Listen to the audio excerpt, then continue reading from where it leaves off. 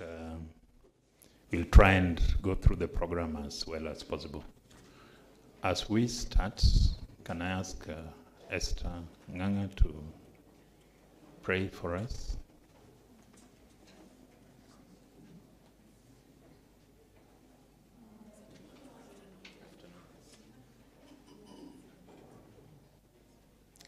Let us pray. Ah, dear Heavenly Father, we have come before your presence with thanksgiving and with praise because of who you are. You're our God. You're the creator of the universe and all therein. We thank you for the opportunity to have this uh, Innovation Week. We thank you for all our visitors that are here with us and even those that may be joining us later. Uh, we thank you for according them the opportunity and the time to be with us. Thank you for each one of us at the university for being here. Uh, we just want to bless your name. Thank you, Father, for the work that has gone into the planning of this day, and we are grateful that indeed it is coming to pass even for the next three days. So, Father, as we sit to discuss various things concerning innovation, we want to thank you for the minds that you have given many of us to be able to come up with the solutions that will aid the problems that we have as a society. So, Father, we commit everything into your hands. We pray that you will guide us. We pray for your wisdom, knowledge, and understanding as we move on from today till the end of this session. We bless you and we exalt you. In Jesus' name we do pray and believe. Amen. Thank you very much, Esther. Um, colleagues, we are very late. Like I said, you were supposed to start in the morning. We are starting in the afternoon. We are starting actually when we are supposed to end. That means that we are already very primed, and therefore we shall be able to do what we are supposed to do with the speed that we need. I'm privy to the fact that some of our visitors are very busy people, and some of them go to three, four meetings in a day. So we should appreciate that and move our program as fast as possible. All of us are aware that uh, this is actually a dialogue. A dialogue. We are going to dialogue on fostering collaborations between the universities and the private sector. It's not just the private sector that we collaborate with. We also have the public sector here being represented by the county governments. And so I do not want to waste time. Um, I want to call uh, the director of research to come and say one or two things and invite the, the DVC, Planning, Research and Extension, who will welcome our guests here, and then we'll proceed from there. So, Lizzie, karibu. Thank you so much, MC. Uh, good afternoon, everyone, and I just want to welcome you today to today's session. This is the first uh, day for our Innovation Week, and we are starting with uh, the fostering of collaborations between universities and private and public sectors. This session has been uh, sponsored by uh, UK Innovate, and uh, they are going to introduce themselves. They are here today. And also, uh, tomorrow, we have the official opening our, of our Innovation Week. And uh, this session is going to be officially opened by our own Vice Chancellor. So we welcome you to tomorrow. And on Wednesday, we have our public lecture. So, uh, with those few remarks, I would like to welcome our Deputy Vice Chancellor, uh, Planning, Research, and Extension, to introduce the guests and officially open this session. Thank you so much.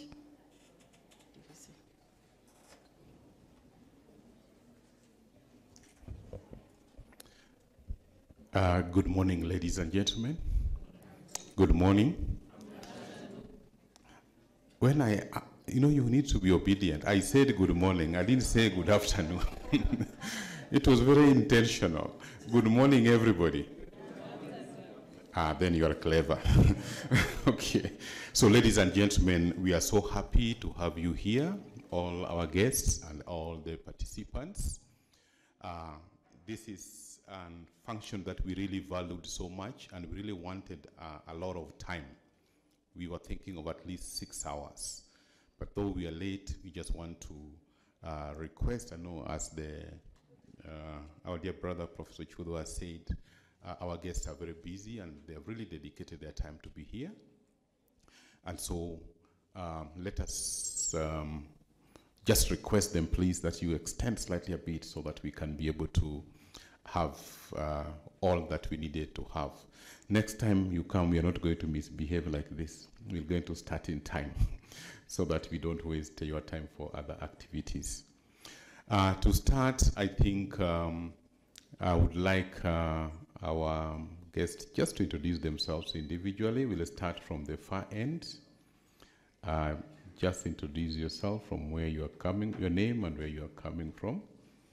And uh, maybe the other details will come later. So let's start with uh, the lady. So. They're not working? Okay. Uh, just put it on. Professor Kitainge, how could the whole Oh, uh, I, was, I, was, I was going to. this is the guy who is representing us in that team that the president appointed on education. I was saying, how could he let us down? And is our education is we donated to the president. Please, okay, it's good that he has. Uh, my name is Esther Cherop. I work for Kenya Seed Company as the branch manager here in Eldoret, representing uh, the management of Kenya Seed in this special conversation meeting. Thank you. Good afternoon. My name is Bishar Ali. Uh, I come from Absa Bank, Eldoret, and I'm the branch manager. And I'm delighted to be here this afternoon. Thank you. Thank you so much. Mm-hmm. Good afternoon, ladies and gentlemen. My name is Dr. Yulita Mitei Cheruiyot, Deputy Governor Nandi. I represent the public sector. Thank you. Thank you so much, Daktari. Those who don't know Daktari, this is one of our own from the Department of Chemistry on donation to, Na to Nandi County. And she did so well that those people couldn't afford.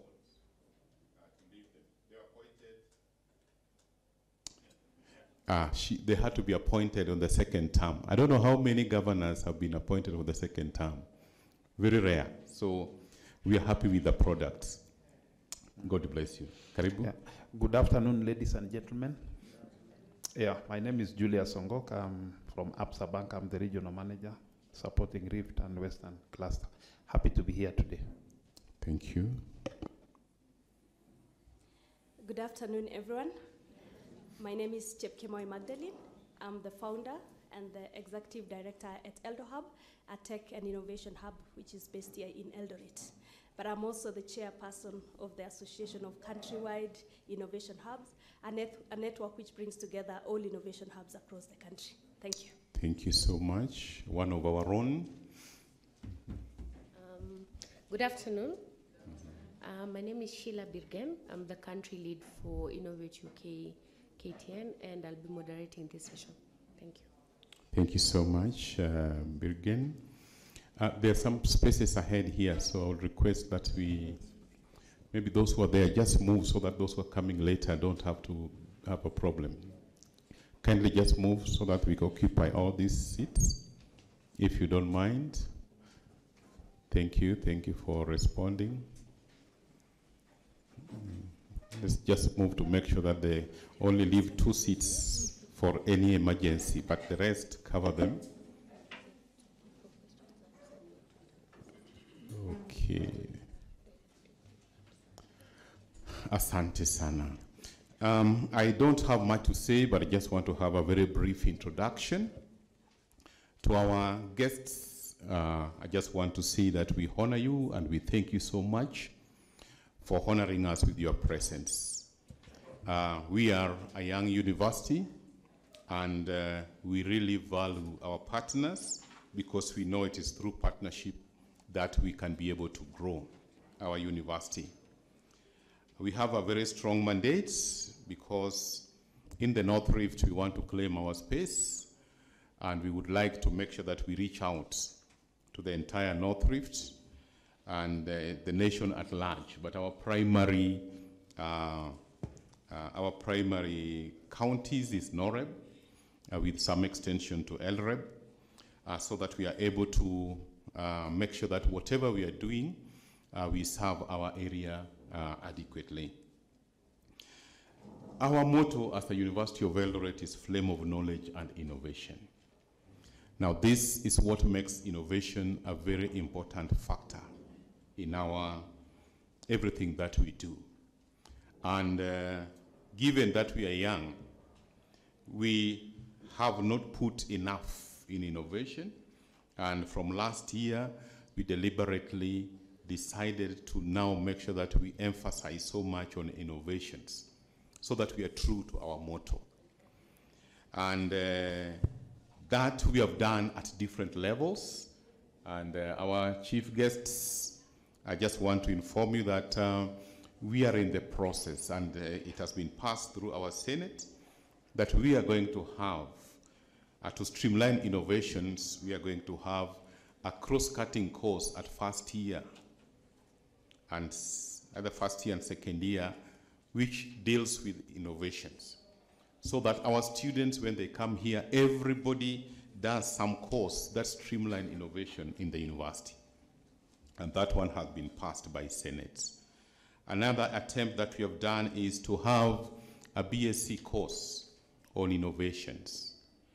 And this has been domiciled in the School of Business, where we are sitting.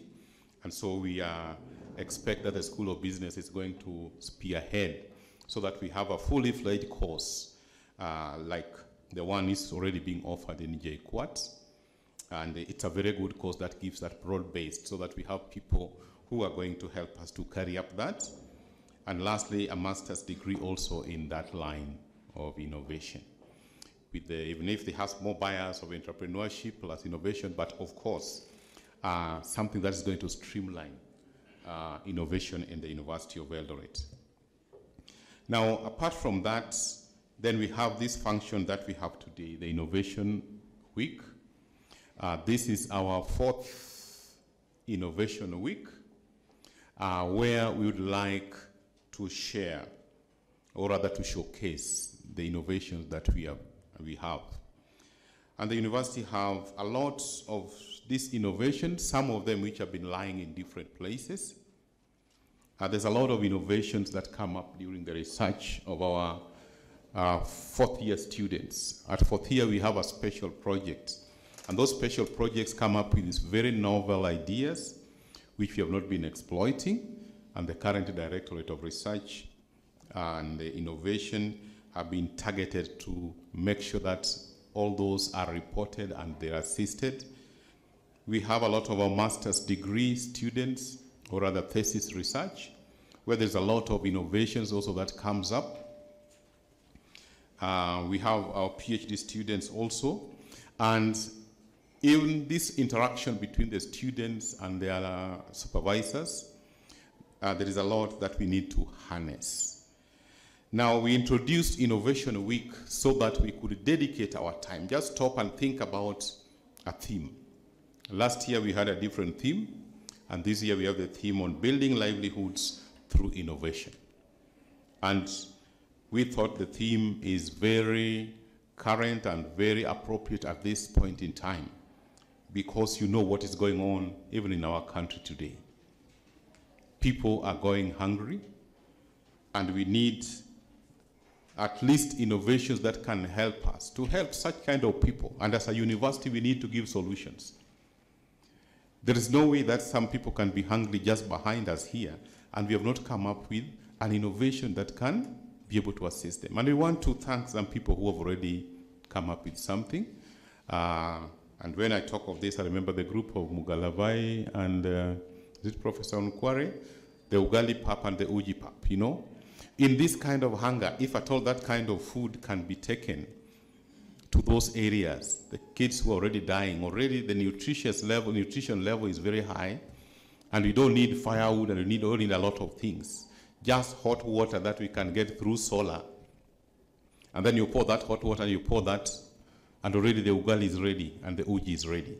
Uh, these are some of the things that we really need to think about so that we as a university and our stakeholders, because we don't want to operate alone. As I said, we are in the North Rift. Whatever we are doing, we want to know are Eldoret National Polytechnic, what are they doing? What are the RVTTI doing? What are the other institutions in the region doing so that we can work together? And that's why we normally attend any fair. If they have a fair, we also invite them. And I hope here we must have, must be having. Do you have people from uh, our National Polytechnic, Eldoret? Hmm? RVTTI, have they arrived? Just raise up your hand. Yeah, excellent. That's very good. Yeah, I would like to be working together because that is what makes us uh, to be strong in what we are doing in the region. So this is a, this function is very important. Uh, we know the universities now job market is a challenge uh, in the nation, at the nation, but then we can be able to create those jobs so that we don't think of going to school to be employed. And our chief guest, this is a problem in our institutions. You find somebody who has done agricultural economics sitting down at home with a whole master's in agricultural economics. You have a, a, very vibrant first class student with business management. In fact, there's a time one came to me, and I mean, another mother, that my, my daughter is at home and he did business management and there's nothing that she's doing. She's just at home. I say, how can she be that foolish? I mean, she has been taught. Give me that girl so that I can talk to that girl. So I talked with that girl. And within one year, that girl came up with, she was doing some flowers with just collecting bottles that have been thrown away, and then she's doing some decorations on them and some flowers. The lady is now an employer within two years. So there's a lot that we need to, the orientation that we need to change. But that orientation will come more live when we interact with specialists like the people who are in front of us here. And so we want, I know it's not my, our function, it is your function because me, they can get me anywhere, but you, if you have to get you, it takes time. So I would like to give ample time uh, so that we may continue with the program. So with those uh, few remarks, I think, I don't know if there are few or many, but your later knows where they are stand, they are always few, isn't it? Even if they are two hours remarks, it's.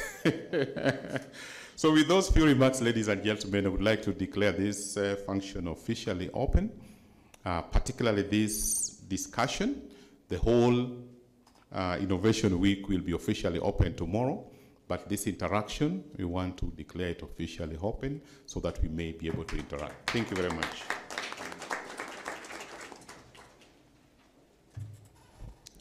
Thank you very much, DVC. Um, I said that we are going to have dialogue, and uh, it will not be one-sided. We want you to, to participate actively as possible. We are going to have moderators, and the moderators we have, we have two moderators, one from outside and one from inside. The one from inside is sitting on my far right. Professor Kitainge is going to be the second moderator. The first moderator is Madam Sheila, who is here. You notice I've put them at the ends while we have the, the discussants right in the middle of them. These moderators will be asking questions and the discussants are going to react. Uh, and it will not end there because from those reactions, we hope they will have primed you enough to ask some good questions.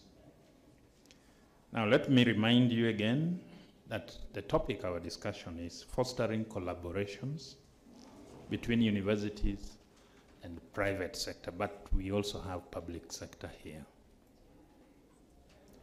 You may know that we have memoranda of understanding with most of the counties around us here and several other institutions.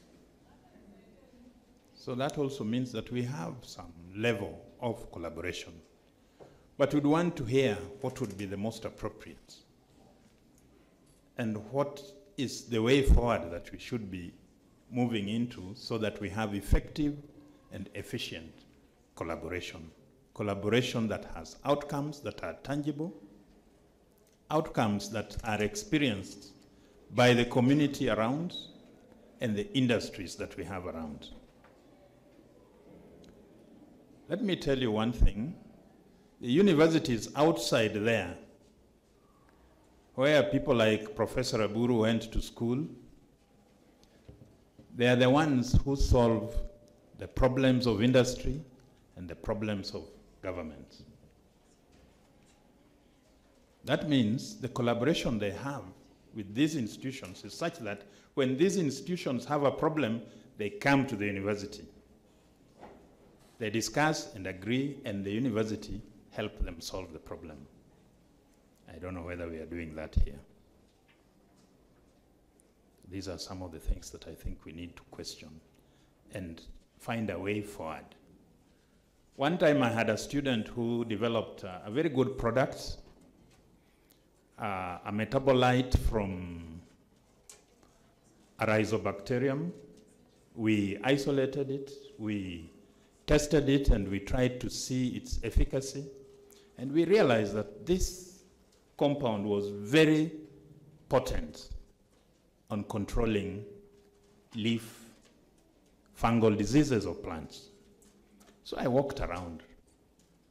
I was feeling, when we have this, can we then bring in industry so that we can develop a product? The doors that I knocked, I realized that most of the industries we have in this country are subsidiaries of those guys up there. And those guys do their own research, they develop their own products. So when you say you have something from here, they look at you and they don't believe you. We have some industries here, some local like Kenya Seed. I don't know what we can do with them because we have products that we need to push forward so that we can have um, final products that can be useful locally. But are we moving in that direction? Or can we move into that direction?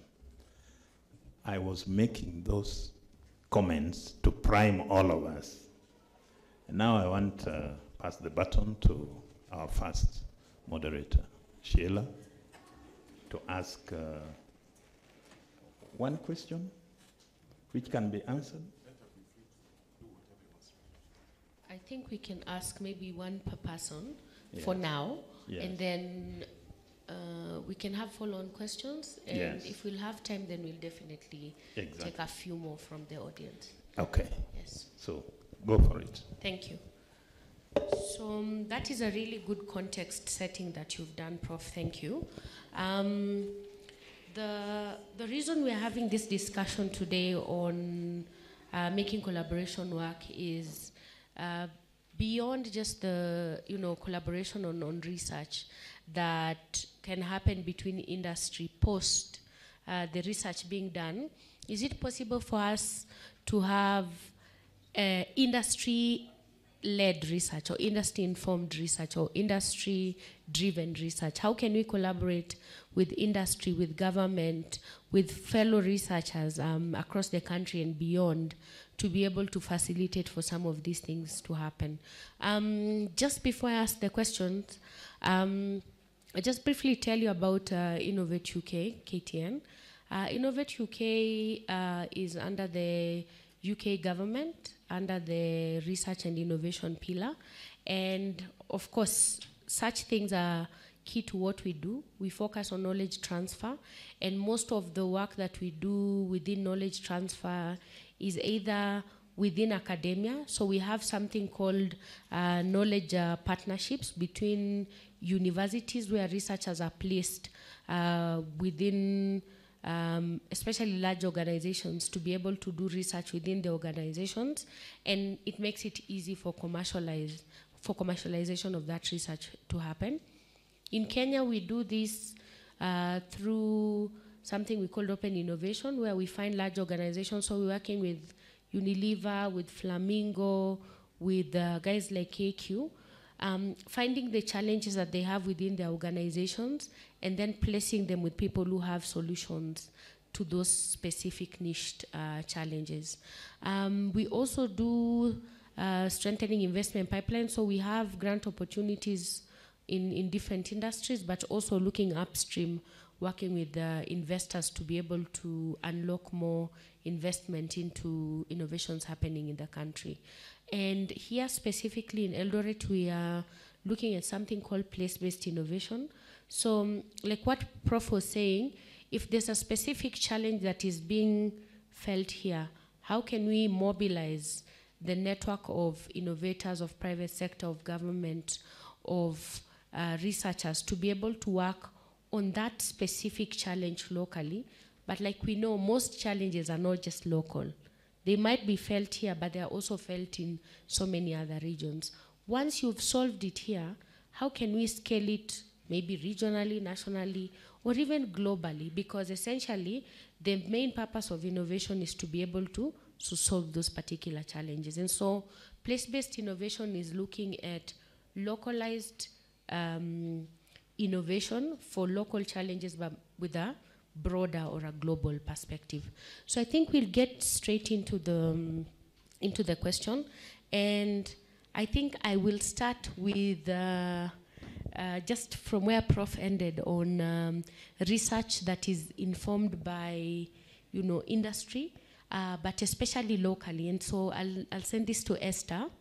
Um, what is it that Kenya Seed, for instance, has been doing with uh, with research institutions and even research that you do within the, um, the organization. How is that, what informs the, those types of, of research? Thank you. Um, our research basically is uh, market driven. Uh, it's actually the department of marketing that feeds the research with um, what really needs to be developed in terms of R&D.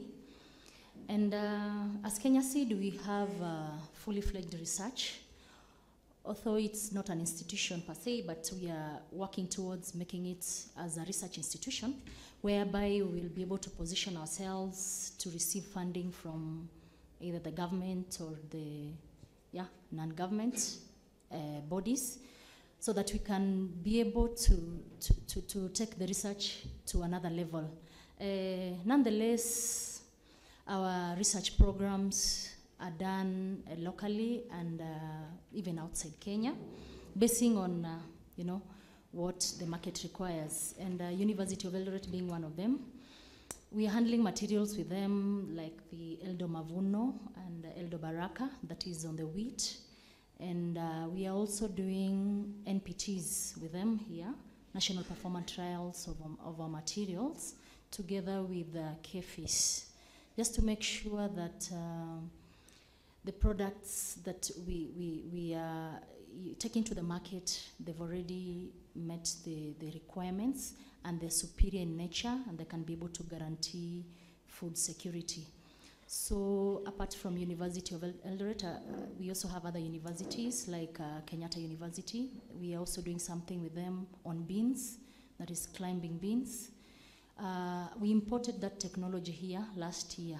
No, not last. The last time we were having the agribusiness here, and uh, it, it is uh, an, an, an, an innovation that we saw it, you know, bringing a lot of results and uh, you looking at it, I mean, um, uh, on a broader perspective, it's, it's something that will address the issue of uh, land pressure.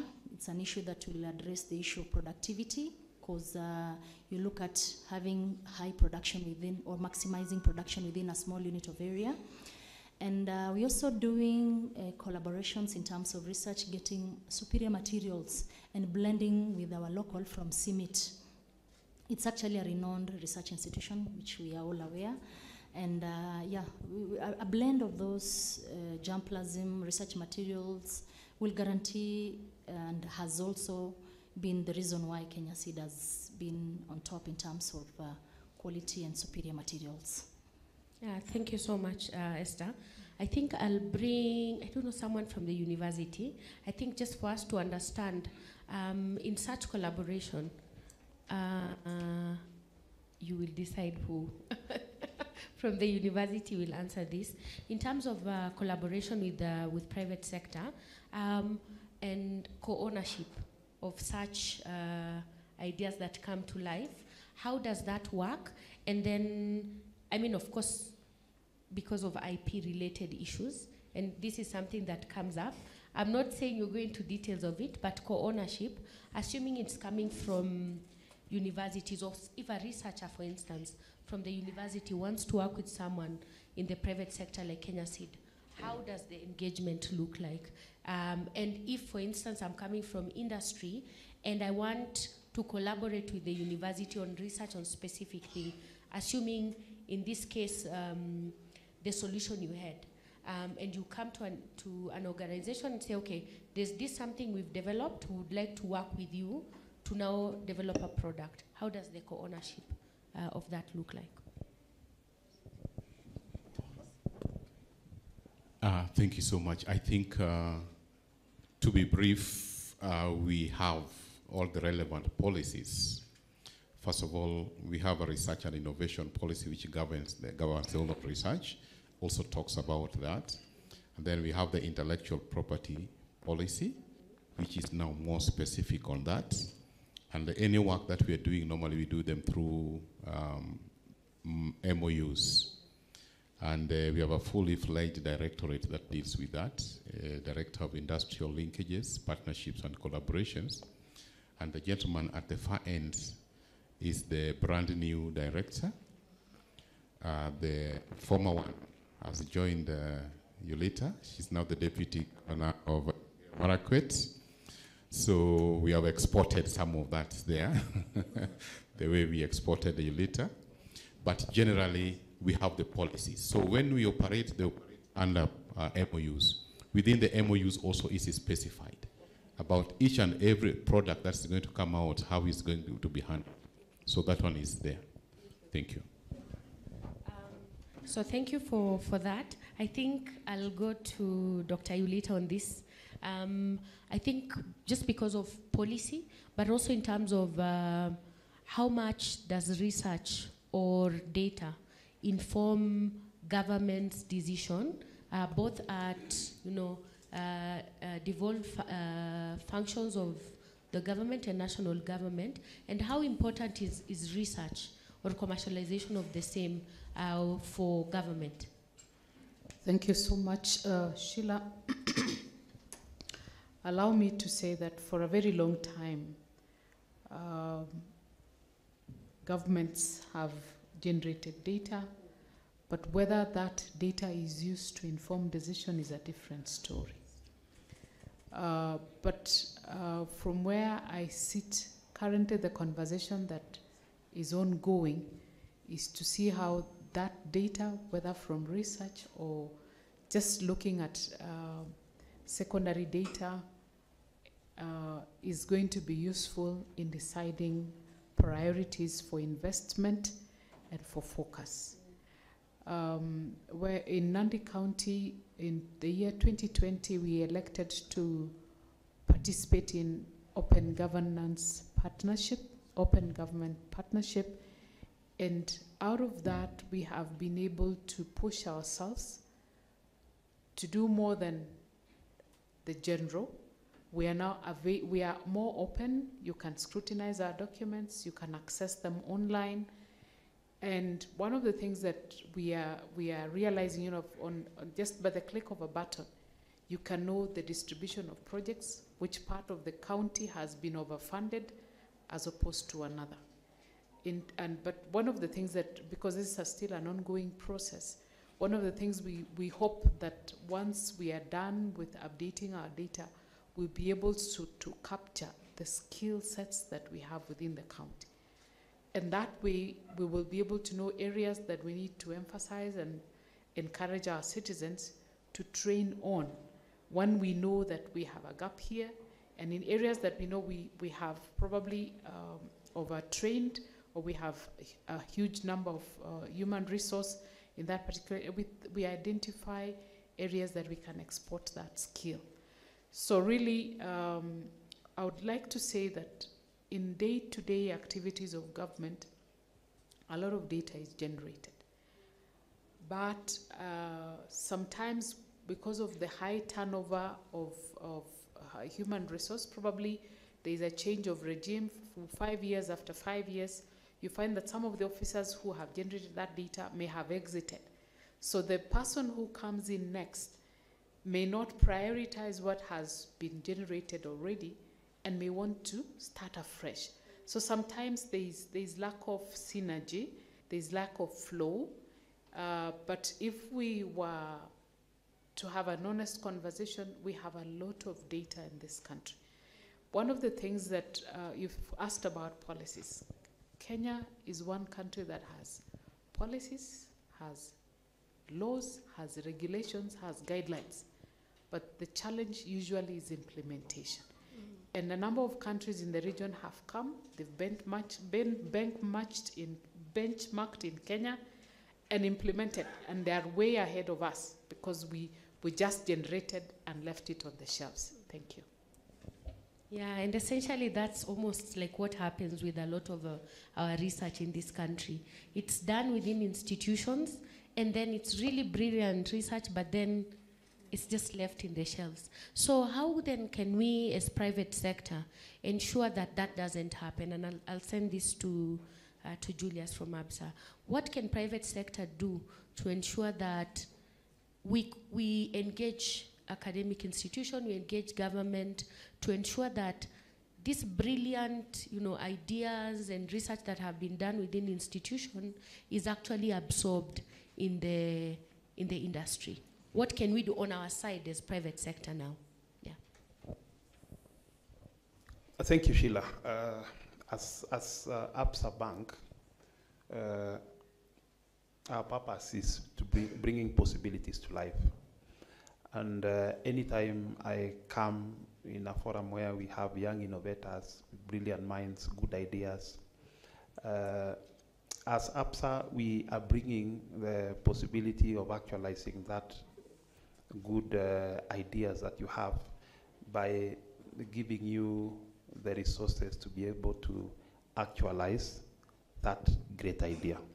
So in ABSA, we we embrace a lot of these innovations, and you will notice that we are one of the few banks, if not the only bank, that's now uh, doing banking through WhatsApp. That you can chat on WhatsApp and you're interacting with your account. So for those who might not be knowing, I want you to save this number 0710 130000 and you can save it as Abby, A double B Y.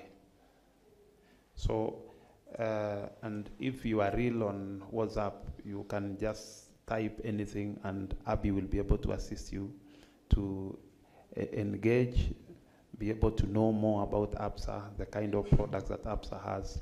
Account opening, you can open real time. It can help you to access your account real time. That's where we are heading.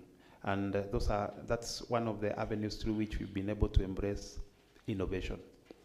The other thing that we are doing as ABSA to embrace some of the good ideas that you are coming up with is that we have embraced robotics in a big way. You find our back office now is running courtesy of robots and with minimal human intervention.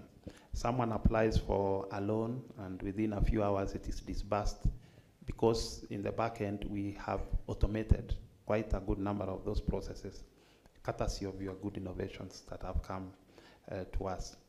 Uh, currently, if you want to open an account, you go to Google Store, you download the app, the apps are app. It will guide you end-to-end process through which you can open an account. So we have digitized those processes and we are benefiting significantly from the innovations that are coming from our young innovators. We have a program in the bank called Ready to Work, and we work closely with uh, university students and uh, tertiary institutions as well, even high schools. And in that program, we take our, our, uh, the, the cohorts through four set of skills. One is entrepreneurship. The second one is work skills. The third one is people skills. And lastly, money skills. So it is through that program, and it's a program that runs for up to 18 months. And we are encouraging us to enroll into that program. You just get to you know, your app, Google's App Store and uh, uh, just type ready to work. You'll be able to get a link there and register. All it asks you for is your email address and some few personal uh, specific information, and you will become, uh, you will have enrolled into the program. So the program runs for 18 months. We'll attach you to mentors. We'll walk the journey with you and be able to help you develop and grow your idea as a young person.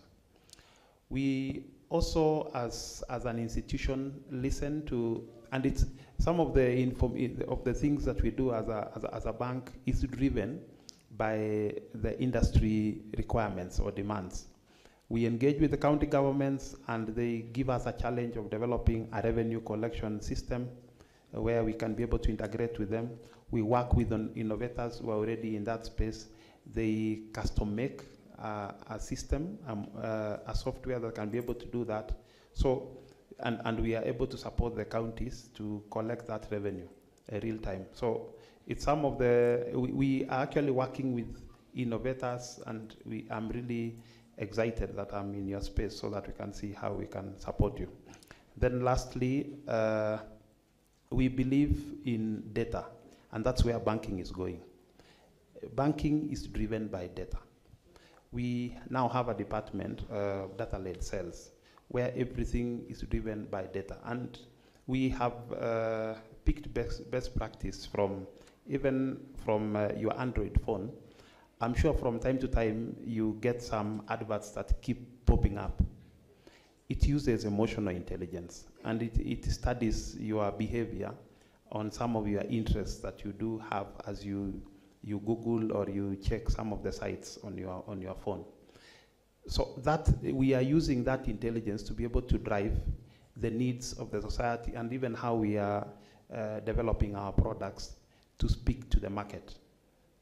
So we benefit significantly from data-led sales. It is driving our sales. You will notice that our back office is becoming leaner as the front office is becoming bigger. It's because some of the repetitive activities in the back office. You come to the bank today and you want to deposit your cash, you, go, you get to the ATM and there's a machine we call uh, cash deposit machines. It's a self-service machine. It can receive up to 1 million uh, deposits. So you really don't need to see a teller to be able to do that. And those are some of the things that we are doing as a bank. And uh, just to answer Sheila directly, as a bank, we are well aligned. We have very good solutions for the entrepreneurs, and we happy to walk through uh, that journey with you. We run some training programs through webinars, and uh, uh, those programs uh, you you enroll. Once you've enrolled on to Ready to Work and also the SME propositions that we have, we will be training you every two weeks. Uh, the, the, the, the trainings are running uh, bi-weekly and we try as much as possible to attach you to mentors and we walk the journey with you. And in the process we are able to fund your ideas. We are one of the few banks that can be able to fund startups uh, because once we walk in that journey with you we are able to tell whether you are good enough to manage the resources. Thank you very much. Yeah, thank you. Um, those are very interesting and, and i think good insights for people who uh, want to work with private sector. But sometimes it's very difficult for the innovators especially when they are starting on in universities, to actually be able to reach the you know organizations like ABSA, like big organizations uh, like that. So you find there are intermediaries in the middle who either will build capacity of the of the researchers or in the or the, or the innovators, um, but they also work with different players. They work with government, they work with private sector, they work with academia. So for intermediaries like Eldo Hub, what do you think is the role that you know intermediaries like yourself play, and what are some of the uh, you know opportunities for innovators that are there in the market to be able to easily transfer the work that they are doing to be able to work with industry? Thank you so much, uh, Sheila. And um, I think um, a lot has been said for today, especially research-led and data-driven uh, solutions. And I'm really happy that uh, we don't lack uh, policies and laws, as, um, as uh, Excellency, the Deputy Governor said. And uh, there is there's need for implementation. And I think that's something that as the intermediaries, or rather the innovation hubs, we've been pushing for to ensure that you know we have laws that actually create an enabling environment for the innovators and for the entrepreneurs to bring those ideas to life. And uh, if you've all heard about the startup bill, uh, which was proposed by the uh, current uh, governor of Nairobi, Johnson Sakaja, and uh, one of the things uh, in the startup bill was uh, how can we support innovators? How can we support the innovation ecosystem to be able uh, to support those ideas to bring them to life? Of course, those are some of the things as intermediaries we are pushing for we are pushing for the implementation of these laws. But again, you know, we provide also that peer-to-peer platform where the innovators, the private sector, the government, you know, come together to think about and brainstorm about different ways in which we can support research and we also can enable, can um, work on data. And uh, one of the things that we lack, and in terms of uh, challenges, are we don't really have data. I know that especially local data. And uh, most of the data that has been collected, they are collected by international organizations. And sometimes they really understand our local market, but us, we don't understand our local market. That is why you will find our local innovators being disrupted by international uh, or in international startups. You've seen the Uber and the rest. And how can we train the, the startups and the innovators to think globally? so that you know when uh, you know when they have access to this data. And i think uh, this is where we rely on the university to provide us the university the government to provide us as the intermediaries with data that will enable the innovators to make informed decision as they come up with different solutions to the challenges that we have uh, currently. And um, an example is as simple as, like for example, currently even in Eldoret, for example, there is an issue with waste management. I don't know if you've heard about that. And um, we don't have data. We don't even know how much data is generated on a daily basis in Uasin Gishu County. So innovators, how if we have that um, uh, that if we have that information or that data, it will really inform how we come up with uh, different solutions to those challenges. So for us uh, as the intermediaries, I think uh, we, uh, we want the government, of course, to support us in terms of uh, making sure that the laws that are available are well implemented so that it creates an enabling environment for entrepreneurs to thrive. You've also, you know, there is the issue of double registration. There's a lot of processes that are involved. Even if you are in food security, for example, you have to go to CAPS, and sometimes uh, innovators are sent from one office to the other because even the government don't understand how do we regulate such a startup. How do we regulate such an innovation? Because I, I think they've never been prepared for that. So we rely on the government, and we can actually support the government on this in terms of uh, offering them some of the solution and even giving them some of these innovations that are in existence.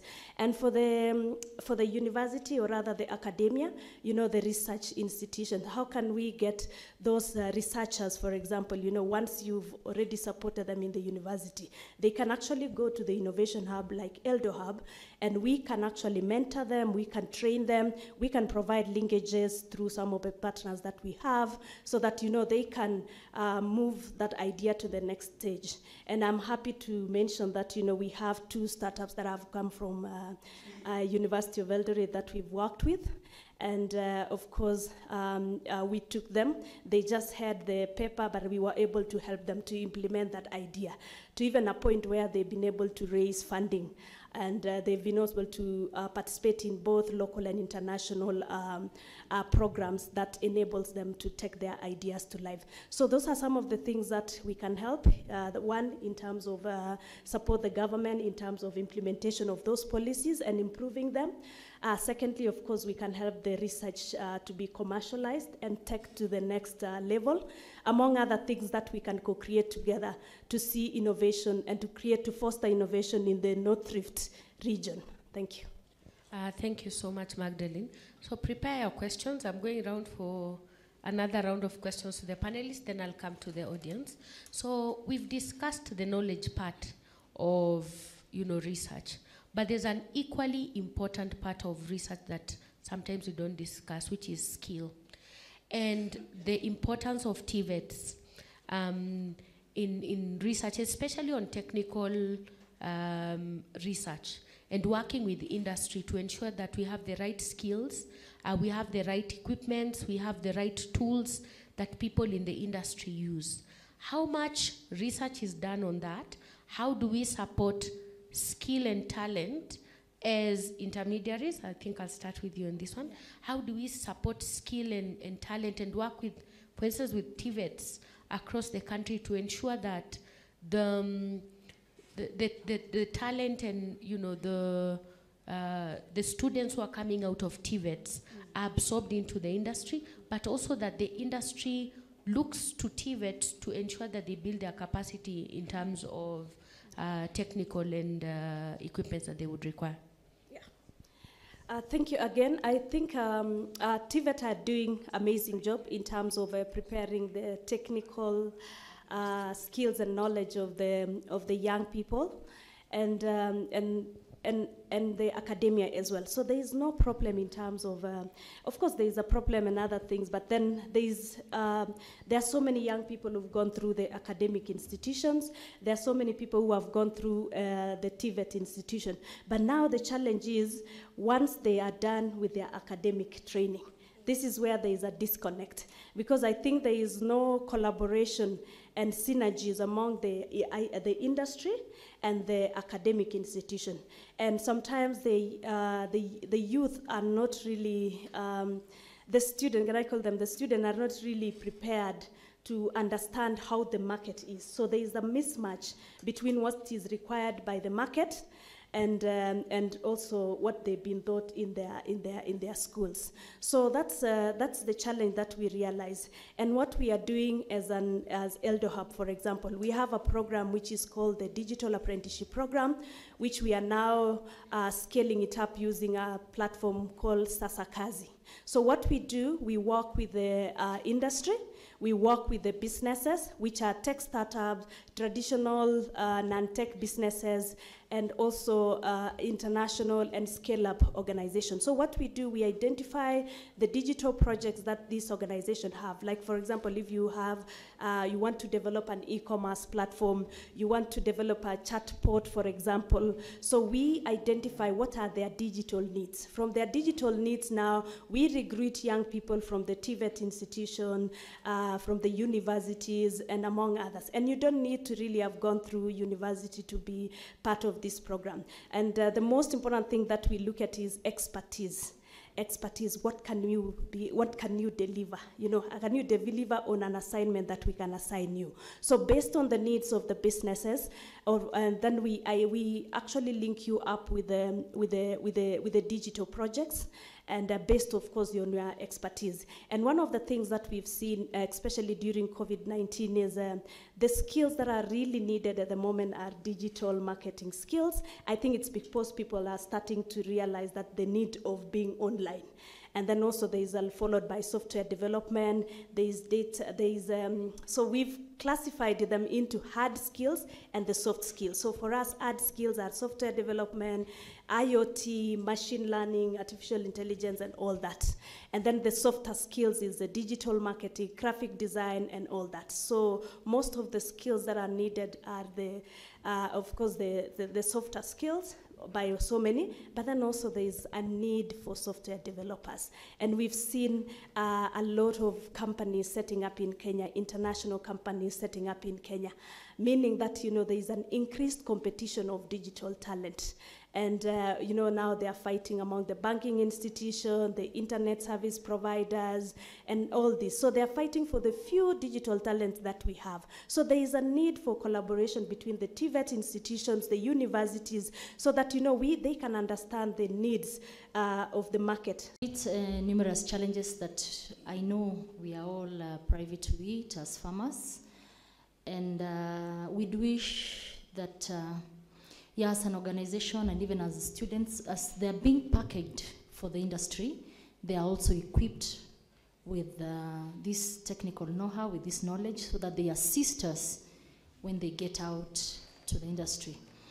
Uh, the issue of climate change is real, and uh, ways or uh, how to devise resilience in our farmers, resilient varieties of materials that can be able to adapt to these climatic uh, conditions that you're having. We are trying as an, as an organization to develop these uh, materials, although it takes some time because ours, uh, our mode of production or multiplying and, you know, getting the seed is a conventional way of, of natural breeding and selection. So that takes some time.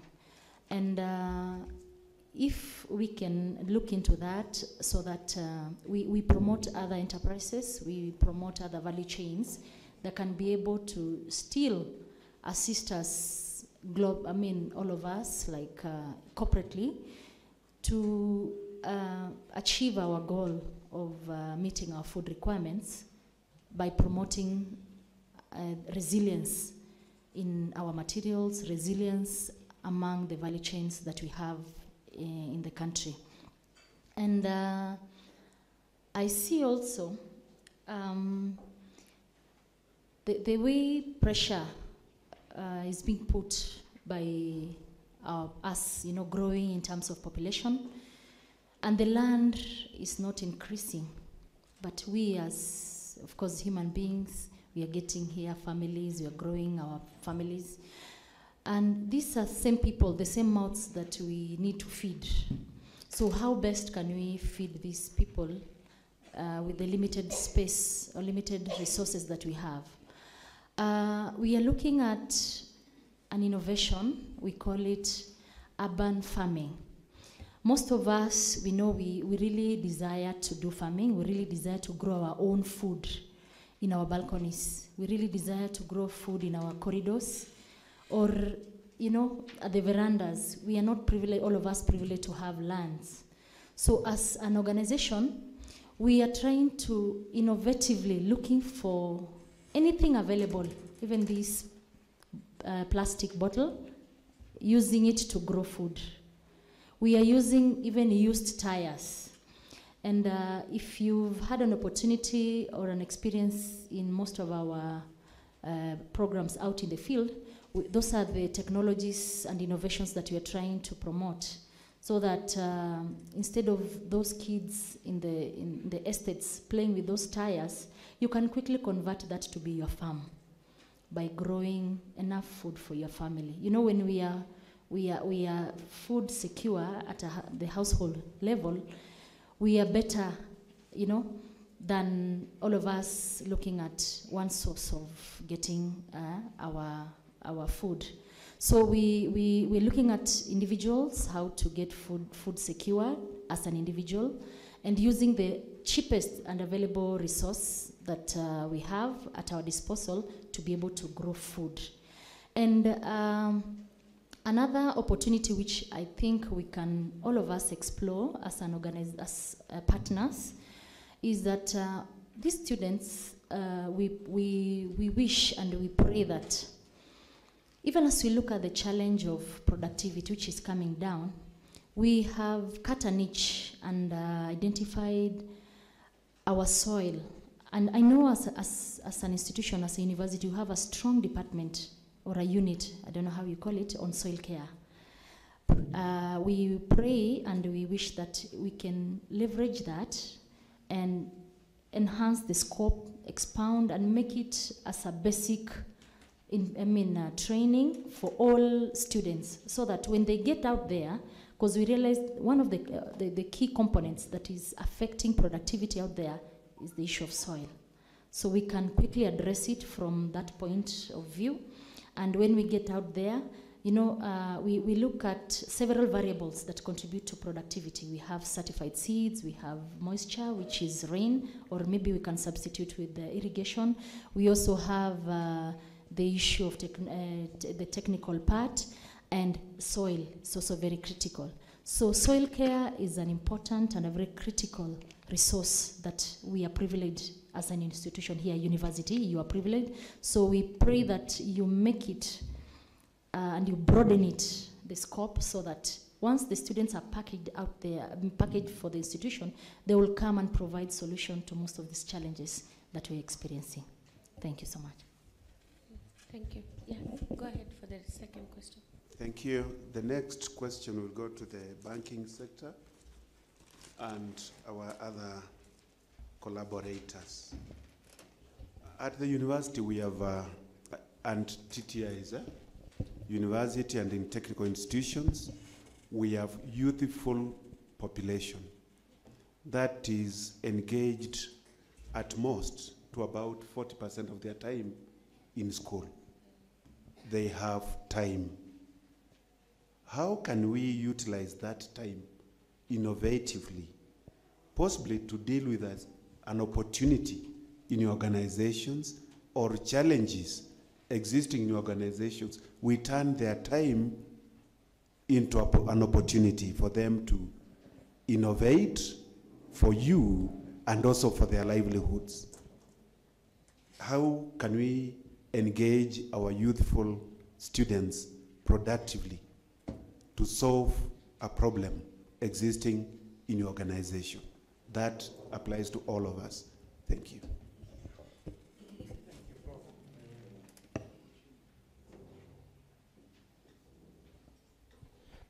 Thank you, Prof. I'm good. Yeah, I, th- I think that's a very good question, and uh, it basically ties to the, the youth who are actually uh, our audience this afternoon. And I think as a bank, what we are basically doing is that, uh, you know, every day we are trying to to come up with products that we feel, you know, that would be able to ta- tap into the larger uh, population. You realize that for all of us as youth, and more, more importantly, some of the students who are here, to be able to log in there, and when they get into that particular cohort and they go through that uh, training, then we are able to harness and tap some of the ideas that they are having. And if you look at some of the, the products that we are now coming up with, like the WhatsApp banking and all this kind of thing, these are some of the things that have come up through as a result of some of these initiatives that we are getting from the young people. So when we take you through that program, then we are able to, to mentor you in there. We are able to take you through entrepreneurial skills because at the end of the day, as youth or as a student, your purpose is to be able to either, when you leave this place, you either get ready to work and be fit into that organization very well in there and be more productive, or become an entrepreneur. So when you become an entrepreneur, that's another avenue where you can be able to make money for yourself and to be able to grow as a person. So we, we, we tap into some of those ideas, so we are able to pull you in there.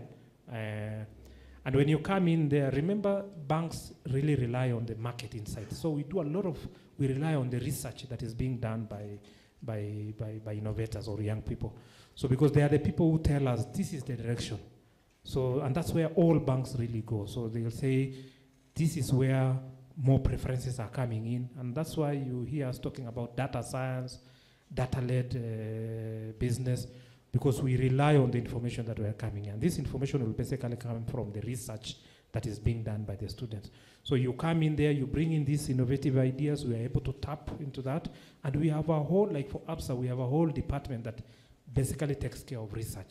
So some of those ideas can actually be pulled in there, and, and you, you grow in there and you become a very useful, you know, that idea that you have grows and, you know, a product is designed, and that's how banks make money anyway, because they tap into a niche that is very new, and they, they, they become the first in that market, and they are able to, to excel in that area. So that's where we encourage quite a number of, uh, you know, young people to go in there, bring in some of those ideas, and then we grow it, and it becomes a business idea. Thank you.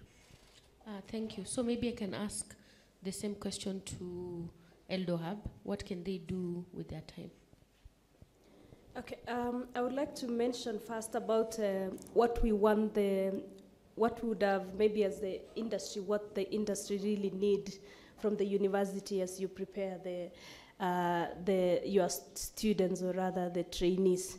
I think one of the most important thing um, I've talked about before is the soft skills. Uh, soft skills are very key because uh, I don't think the university has any problem in terms of uh, technical training. Like if it's a computer science person, you've already trained them on all the coding skills, among other things.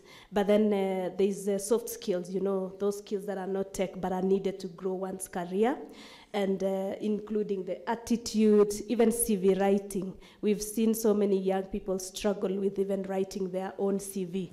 So if there can be programs that will enable them to, to write those CVs, I think it will really go a long way. Another thing which is very key, especially now, you know, initially um, innovation was not really key in some of this industry. But now digital transformation and innovation is something that every company has actually come to appreciate. Some of them have even added it to their agenda. So if you are preparing these uh, young people, then also you need to enable them to be innovative and you need to teach them how to be innovative and as well as also being creative and uh, problem solving is one of the things that are very key. You know, they are going to figure out things on their own and uh, probably equipping them with those problem solving will be very good. And also things such as attitude, I think some, something that we really struggle with the entry level uh, young people. I think they come in with the attitude that, you know, um, they, you know, they are in the, you know, they've got an employment or maybe they need, you know, they deserve to be uh, given some more uh, favors. They deserve to be given even more salary, raise, salary, a bigger salary. Uh, and uh, sometimes also it's really take time. They need to understand the policies of the organization. They also need to understand that they are not as experienced and they need to use such opportunities to actually, first of all, work on building their experience. And another thing is uh, entrepreneurship. Even if they are not going to start their own businesses, I think it's a very uh, must have skill and uh, if you get employed, I think entrepreneurship is, an, is entrepreneurship within an organization. You are not the person who started that organization, but actually you can support their vision by be, having an entrepreneurship mindset. Uh, when the ABSA has talked about some of this program, you could see that you know there is a lot of entrepreneurship, a lot of thinking that needs uh, to go out there.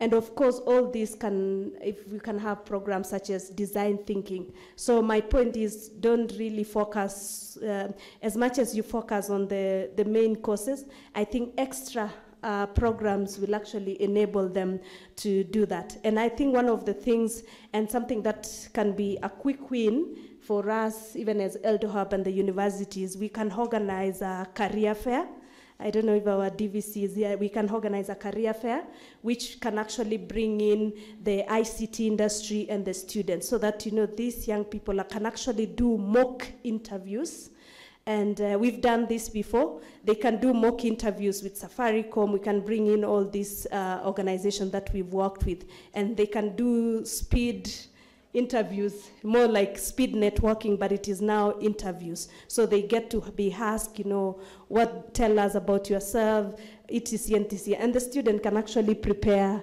to actually do those mock interviews. And there is more, more, and like I said, you know, we cannot expose some of the ideas that we have, but actually we can sit down and co-create together to see what, um, what we can do and what we can support, bringing in the industry mindset. And I want to give an example of, uh, I did, a, I think when the DVC was giving us an overview of um, of the Innovation Week and the University of Eldoret and the master's program, including the innovation program. I, after my university, I actually went to Strathmore University at Safaricom Academy. And uh, Safaricom Academy was partnering with Strathmore University to run an, an in, a more an, an, a, a master's degree which was industry driven and it was based on the challenges that Safaricom was having. So the program was so focused not only on academic, it was focused on the technical skills, the soft skills, and then also we had projects. And uh, in my thesis, I had an industry supervisor and an academic supervisor. So my industry supervisor was from um, Google. She's called Dr. Shiko, and she was studying at Cape Town. So that really opened up so many things and opened up so many networks in my career. And uh, that I think has really been very useful. I don't know if maybe that model can be adopted at the University of Eldoret so that you know there is that uh, ICT industry uh, partnering even throughout the study uh, of, of, the, of the students. And more and more we can co-create more other ways. Thank you. Uh, thank you.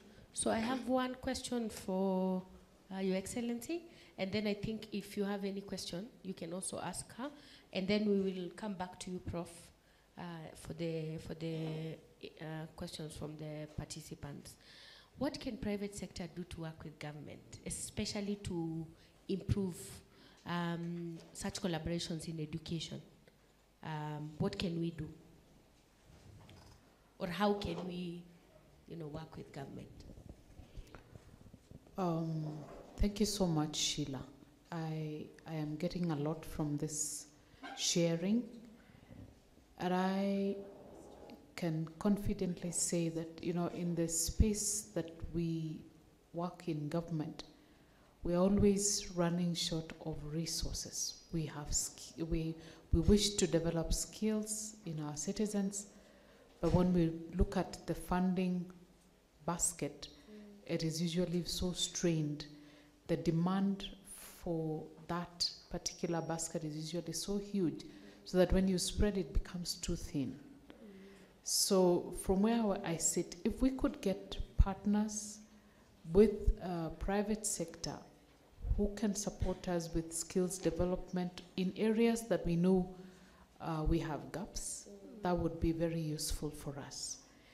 Um, secondly, with universities, um, as they, I want to concur with uh, Magdalene that in, in, in our uh, mentoring our young people and churning out skills to come out to the workforce, a lot needs to be done on attitude and the soft skills, being able to express yourself. Sometimes you get somebody who has gone through a program, a four year, five year program, but they struggle communicating.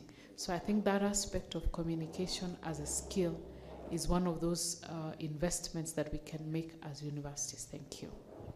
Thank you. Yeah, thank you still to the to Her Excellency. And this is uh, to tap on your experience, especially the lessons you've learned out there in the school of the world. You are one of us, and there must be something that you have for university lecturers. What opportunities are existing that we miss, possibly due to our orientation? What opportunities are existing and how can we tap on our expertise that exists in the universities with regard to possibly in the areas of sciences, in the areas of business, in the areas of education, where we are very strong, but we are not coming out. How can we come out?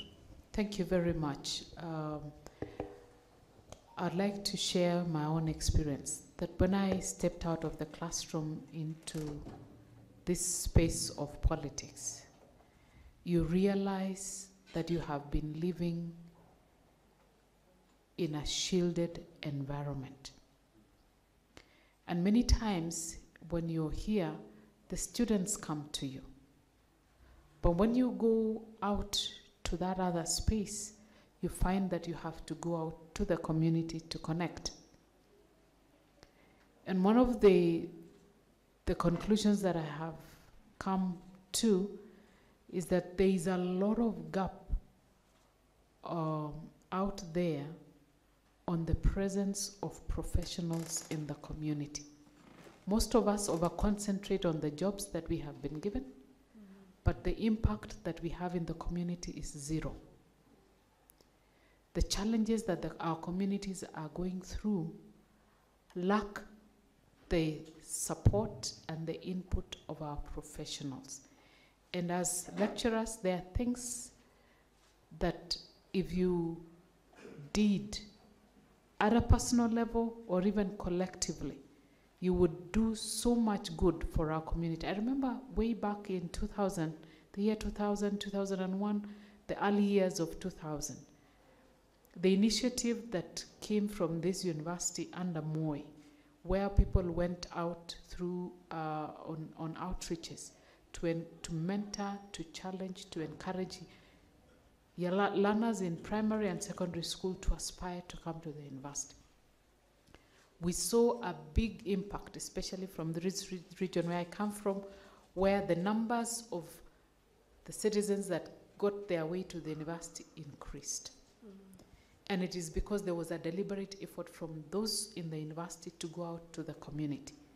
As we speak right now, there are a number of challenges that our young people are going through. Our education system has put on a lot of pressure on our children. Our children no longer have time with their parents. We are churning out people who don't have very strong foundations. And even ourselves, even as parents, we hardly had time for that, those children. So, really, those are situations that we find ourselves in as a nation that if we are not intentional about, what we are witnessing is only a tip of the iceberg. We are not producing strong people.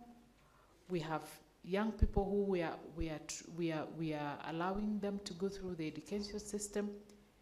A number, if you look and you, you, you look at the reports that we receive almost on weekly basis, you find young people harming one another, killing each other, just love triangles. Our, our foundations have been shaken. Allow me to end there. Thank you.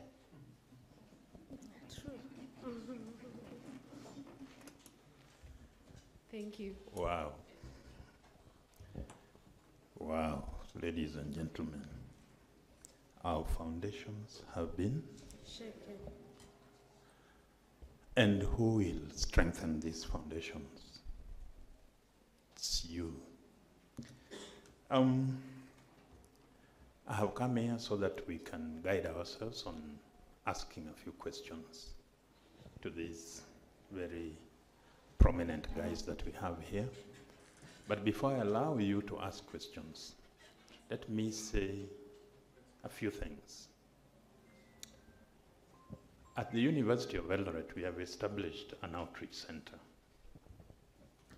This center purposefully was established so that the university can reach the community, the farmers, and industry. Why?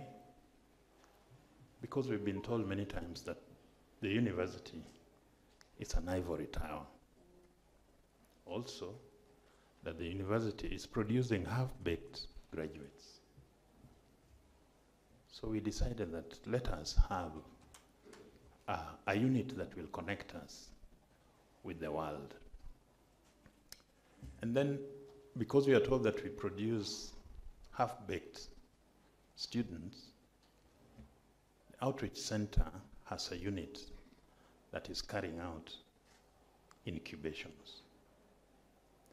We started with agribusiness incubations, but this is open to all other areas, including ICT and the rest, so that we can have graduates who are ready to work.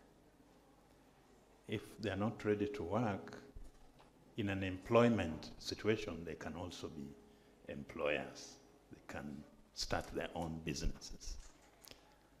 We started this and we managed to get uh, funding from the African Development Bank through Enable Youth Project. And we have three agricultural value chains that we are already incubating in. That is dairy. We chose dairy because this is a dairy place. Um, mushroom and aquaculture and fisheries. We have already trained about 32 incubators in phase one. And this is a project that has, is going to have four cycles. That is cycle one. We are going to have four cycles, so we still have another three.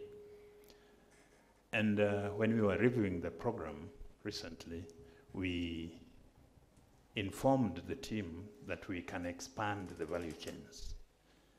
You heard the DVC talk about UNGAPAP.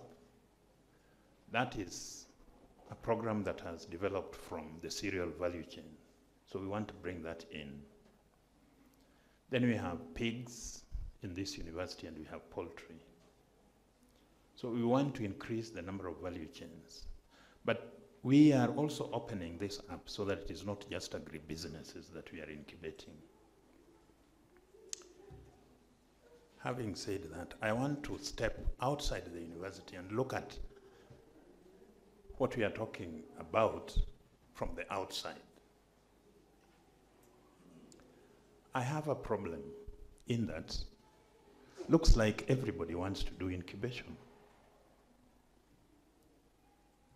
The county government is establishing Eldohub to do incubations. My bankers here, I bank with ABSA. These guys are my friends.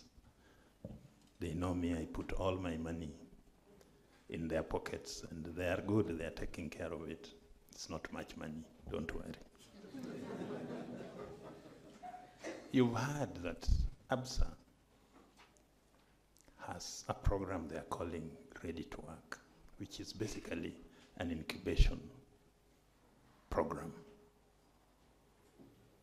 So if the university has an, in, an incubation program, the county has an incubation program, the bank has an incubation program, are we complementing each other or are we fighting? Or rather competing? And is that healthy? Um, we started this incubation center here, and our biggest weakness is funding. We have equipment, we have expertise, we have data, we can do a lot. All that we lack is funding. How can we how can we partner? How can we collaborate? How can we synergize so that I think in this country we have a lot of problem and you later mentioned that when a new government comes in Nandi, they'll forget what Yulita and team have been doing and they start afresh. We end up not really making progress.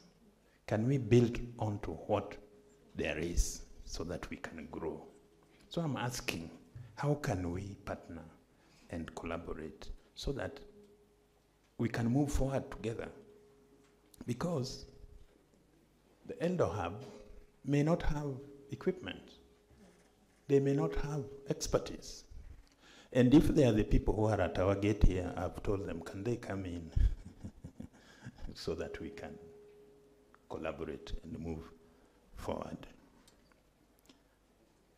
Um, the banks, and I've noticed that all the banks today have a foundation or a program that is funding youths and women.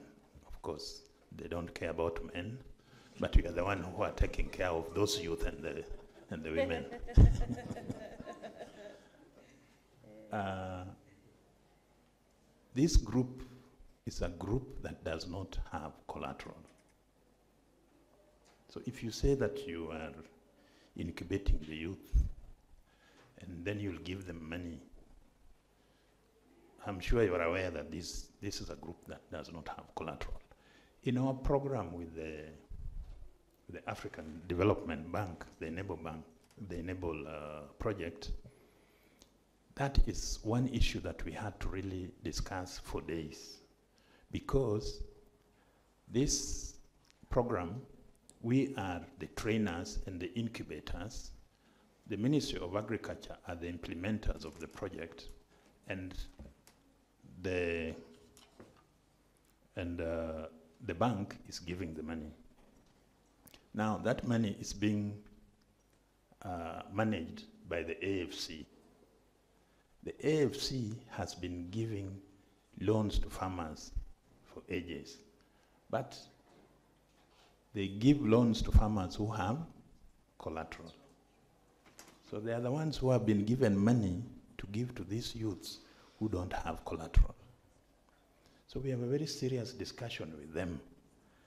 What collateral shall we have with these youths? So we agreed that if we train these youths properly and incubate them properly, and the bank can see through them and accept that these youths will be productive and that the money they are given, they will be able to pay back that is collateral enough. So it is kind of intellectual property kind of collateral. I don't know what ABSA is doing, how they are giving the youth money and ensuring that that will be paid. So those are my two questions. Sorry I took long. I needed to lay that base. Can we have four or so questions fired from the floor?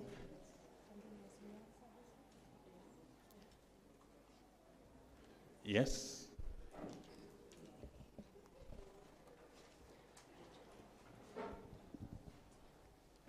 Um, Eldoret University, is the host, our guest, and the audience at large. Allow me to salute you.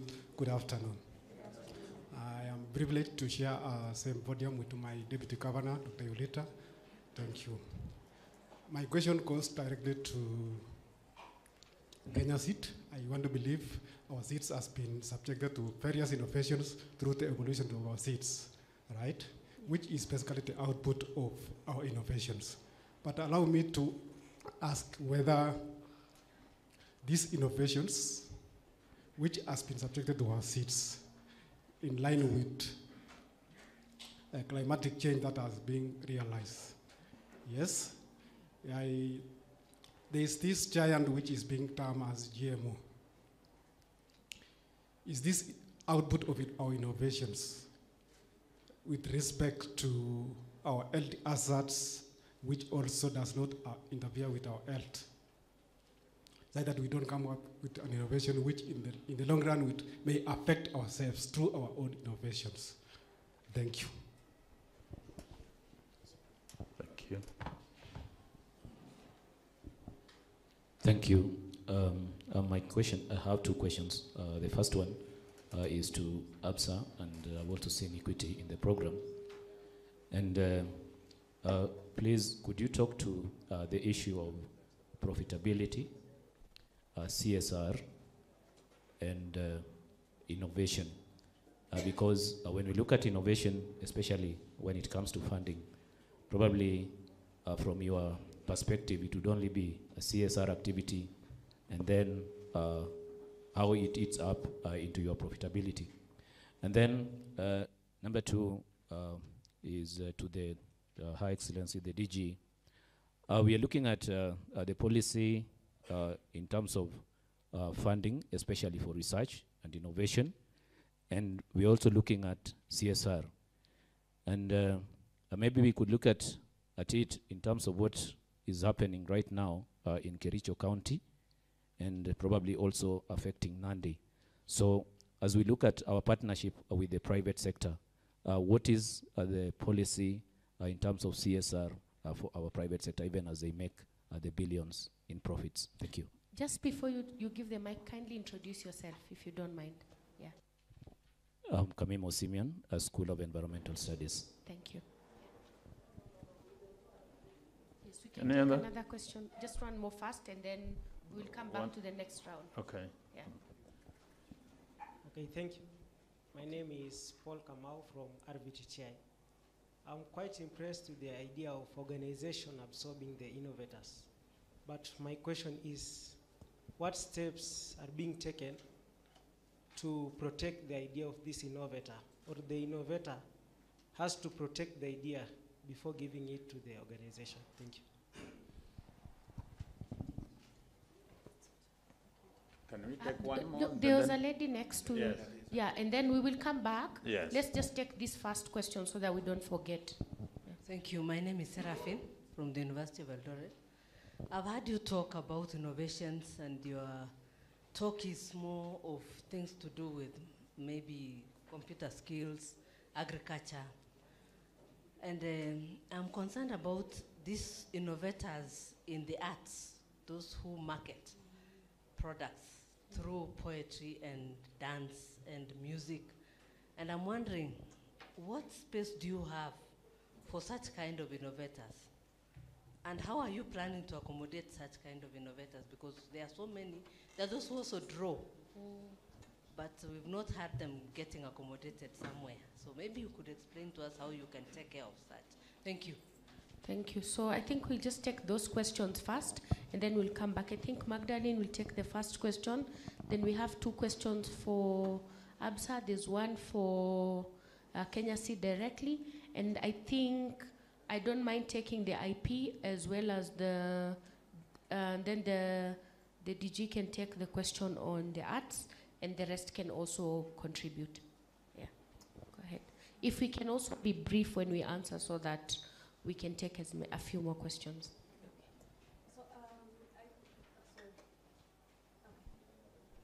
Yeah, so um, yeah, I think uh, there is a, a bit of uh, duplication of efforts. Uh, you have the University of Eldoret with their incubation center. I haven't, um, maybe I need to know more about it. And then we have ABSA talking about uh, mentorship and incubation. We also have EldoHub. And uh, just to also clarify, EldoHub is not owned by the government. It is um, it's a, a, a private entity. So I think there is that also brings in the um, partnership between the academia, the private sector, the government, and etc. etc. But then my point would be, uh, how can we collaborate together and see ways in which maybe we can match effort, efforts to see how we can uh, better, maybe even build a better capacity to continue supporting the innovators. And uh, for us, I think we have experience working with different uh, entrepreneurs across the country in terms of incubation, including even funding. We fund them through uh, some of the partners that we have. And uh, currently, we have funded over 300 across the country in 40 counties where we identify them, we provide them mentorship and coaching, and then we incubate them, and then we recommend some of them to our partners for funding. So we have one uh, partner that's GIZ who actually give them funding. But then after they've gone through uh, a certain uh, criteria. So there is um, synergies there. There is something there. It's surely we really need to sit down and see ways in which, uh, of course, University of Eldoret as the academia, us, Eldo Hub, and the banking institution, how can we work to uh, come up with a, a, a one program? And of course, there is Innovate UK that can facilitate the process. I hope I'm not speaking on your behalf. And, uh, but then, uh, of course, with your place-based innovation, there is a way which, in which we can actually come together and see how we can uh, strengthen that program. And also, we've been running as well a North Rift Innovation Week. Uh, we started on Monday last week, and the Deputy Governor closed it on Thursday. And uh, we had three innovators being given um, uh, 300,000 uh, Kenya shillings just to continue supporting their innovation going forward. And some of the partners that we had include uh, Innovate UK, UNDP, uh, Segal Family Foundation, Safaricom, Huawei, among other partners. So also maybe that's something that we can see to match the Innovation Week. We are not saying uh, to separately run them, but then we can uh, be running within the same week, and then we close it with a very big event that can really be, uh, can showcase innovation in this region. I think those are some of the things to think about, and we really need another meeting, and hopefully the banking institution and the county government can come in. And I'm happy, ours is North Rift. We can also make it, it can be, you've talked about NOREB and what you are doing. So the North Rift kind of covers the entire region. Thank you. Thank you. Uh, I'm sorry. Yeah, go ahead.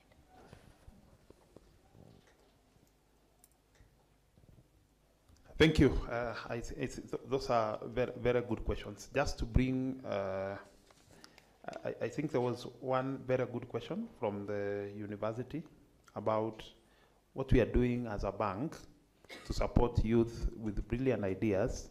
They'll want to get some facilities and they might not be having collateral. So, uh, as, as a bank, we have uh, facilities that do not require collateral. What, what this program that we have with uh, the youth, we are calling it Ready to Work program, is that we, we incubate the young entrepreneurs and we take them through a program that runs for 18 months. At the end of the 18 months, you can qualify for unsecured lending of up to 10 million, depending on the idea and how well we have been able to ring-fence and seen that we have empowered you. So some of the things that we do through the entrepreneurial skills set is that we give you some basic skills on financial management, preparing a budget, how to work with uh, uh, some, uh, how, how to do basic bookkeeping and stuff of that nature. Then the other one is the soft skills on people management, how you relate with the people, because business is about relating with others. So we empower you from a relationship management perspective to relate with others, to have that emotional intelligence to know how to relate with others, to create those networks. And through those networks, now you can be able to build your, your networks. Then we also help you to connect with the markets. So that's a critical uh, part that we do. And of course, we work with the county governments, we work with other private sector industry players to open up the space for you so that you can have a wider space. We organize international trips for our business customers, and the young innovators get an opportunity to go out there and see how other, uh, other business people in other countries are able to, to do it. So that exposure is part and parcel of the package that we're giving you so that we take you through the Ready, ready to Work program. We upskill you through mentorship. We connect you to, attach you to a mentor. We monitor the progress from one level to the other. And by the end of the 18 months, we are comfortable and confident that you can be able to manage the resources that we are giving you. And it depends on the idea. Some ideas require as little as maybe 200, 300,000 to actualize. Others might be requiring much more. And that's why we are saying we can give up to 10 million unsecured. So those, th those uh, uh, some of that is, is available from our end. Then to answer Mr. Haminwa, uh, I don't know whether it's Mr. Haminwa or Dr. Haminwa, I didn't get the first, the title, but Haminwa Simeon, Uh, he he wanted to know about some of the CSR activities or how we are applying back to the community that is helping us to make the profits that we do. Uh, some of the initiatives we are running, and it is tapping into the innovation, is that currently we are partnering with schools. Uh, that is uh, Computer for Schools Kenya. We have partnered with Computer for Schools Kenya, and we are donating computer labs to, uh, and, and of the 84 branches that we have in the country, each branch of Absa Bank has adopted at least one, one needy institution where we are setting up a computer lab. The reason why we are passionate about setting up computer labs is because for us to be able to nurture the talent for the young people to be innovative as we move forward is that we need to start at primary school level, secondary school level, to train them and make expose them to computers. That way, they'll be able to appreciate what's happening elsewhere through the internet because we are living in a global village, and you can only learn that through internet. So we are doing that. Uh, currently, we have uh, done at least one institution in each of our counties, and that's a program that's ongoing. We are also doing big on climate change. You realize that uh, there is a lot of challenge from that space, food security and stuff. So currently we are planting trees, and we have committed to plant 10 million trees in the next five years, two, 2 million every year. And we are partnering with institutions, and one of which will, of course, be University of Eldoret to see how we can work together. So that's another initiative from a CSR perspective. We are giving back to the, so, so to the community that's giving us business. Then we are also big from a sporting perspective. We nurture talent, and we work closely with some of our talented uh, sports uh, men and women. Uh, we sponsor a number of international uh, uh, sporting activities like English Premier League. Locally here, we partner, we sponsor Kenya Open, the golf uh, events. And next year, we are looking at devolving some of those engagements so that we, we do a lot of sporting activities locally. So we have a lot of initiatives that are local. We are going local, and we want to be part and parcel of the engagements and be part and parcel of the society to see how best we can support uh, the society. Uh, Paul Kamau, RVTTI, was asking about uh, how, I don't know whether it was Paul or someone else who was asking whether we are also tapping into some of the talents, especially our artists. What I can tell you is that in our Ready to Work program, we partner with talented artists, uh, some of which is uh, Sauti Sol. So, and I know we've had Ready to Work program here. In 2020, I, I came here with uh, a team and we were running Ready to Work program uh, with uh, University of Eldoret and uh, a number of university students that gathered here. We were we, we are adopting some of the the who is who in from a talent perspective so that they can inspire our young people to know that if you can pursue your talent, it can take you so far. So we are working with uh, talented uh, young people, and we are also adopting some of the local talents in our spaces so that we see how we can uh, give them that forum to be able to nurture their talent. So uh, to answer you directly, we are working with all talented youth to be able to help them nurture their talent. Thank you. Kenya Seed? Oh, sorry. Uh, you can take the question. Thank you. Um, GMO has been a subject that has been dominating our conversation as a country in the recent past, uh, both in the social media, in all platforms and forums. Guys have been coming up with opinions. Others are backed, are not backed by science. You know, um, from where we see it as an organization, um, this is a, it's a government parastatal, and uh, we have been a non-GMO organization, non-GMO. Our research operations have been uh, conventional. Our breeding, sorry, uh, operations have been conventional, and uh, that is natural selection and breeding.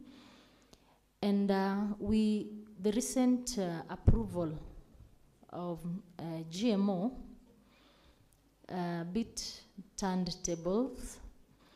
And uh, yeah, conversation are still going on, and uh, but at the moment we do not have any GMO material. We all have non-GMO materials, and uh, we are looking at it because we are government, and we have to move with the government.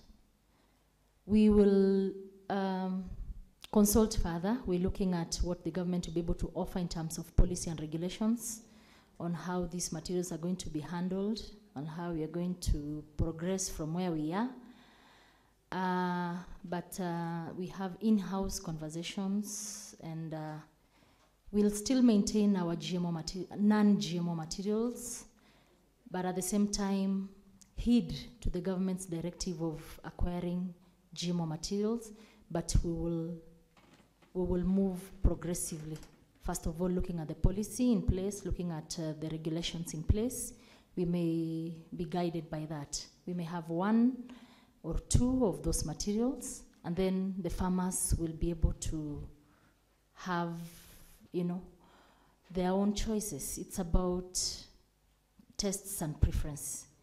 So if they go for GMO, we'll, we will see how it goes about. If they choose to move with the current conventional uh, non-GMO materials that we have, we are, we are okay.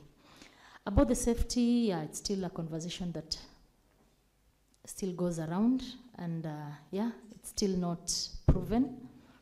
It's still not really clear, and uh, I will not be able to to allude to many of these things that are going on, but I will only say that as a position, the, the organization will move with the government. Uh, the directive that we are given, we'll move with it, but we'll still maintain our non-GMO material. So we, we ask us to be patient and uh, wait for clear uh, information that is really backed by science in terms of health. Thank you. Uh, thank you so much for that answer.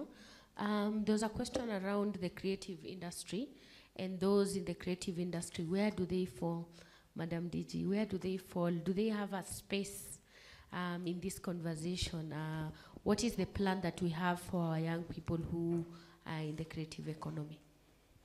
Thank you so much. Um, I'm aware that among the focus areas for the Kenya Kwanza government is to support the creatives. It may uh, still take a bit of time because this is probably a sector that was not uh, given preeminence in the past, but I'm aware that that conversation is on. I remember when we came into office the first term in 2017, as a county government, we had identified that as a priority and we wanted to uh, construct and equip a studio but then because the understanding of our mem- uh, county assembly members was had not reached there, they shut it down. And when it shut down, you ca- they will not fund. And for us as executive, we cannot, you cannot implement a budget without the support of the county assembly. So really, this is this is uh, a subject that I think um, time has come for us to have an honest conversation and avail a platform. I'm aware of a place in Nairobi that already has provided a space. They are calling it DigiLab, where um, people in the creatives come together to share their ideas and to challenge each other to develop and, uh, and bring it up. But as we speak, we don't have one in the region yet. So, um, yes, it is a, a genuine concern, and we cannot run away from it all of us really uh, enjoy creative work, and therefore uh, we have to just be intentional about providing a platform for the development of the creatives. Now, there was also another question about uh, CSR policies and what have you. Yes, I think for every um, for every institution, there will always be a CSR policy. But again, um, not everybody is genuine about uh, offering CSR. Sometimes it's not about genuinity, genuinity as, as such, but sometimes pr- other priorities supersede, and uh, organizations are not able to conduct CSR.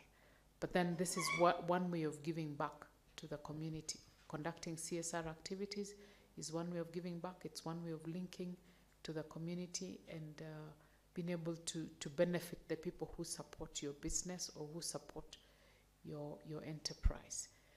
Uh, we have had challenges in Nandi County with um, our entrepreneurs in the tea sector who, for some reason, have done little or nothing uh, to support um, the citizens, to support the government.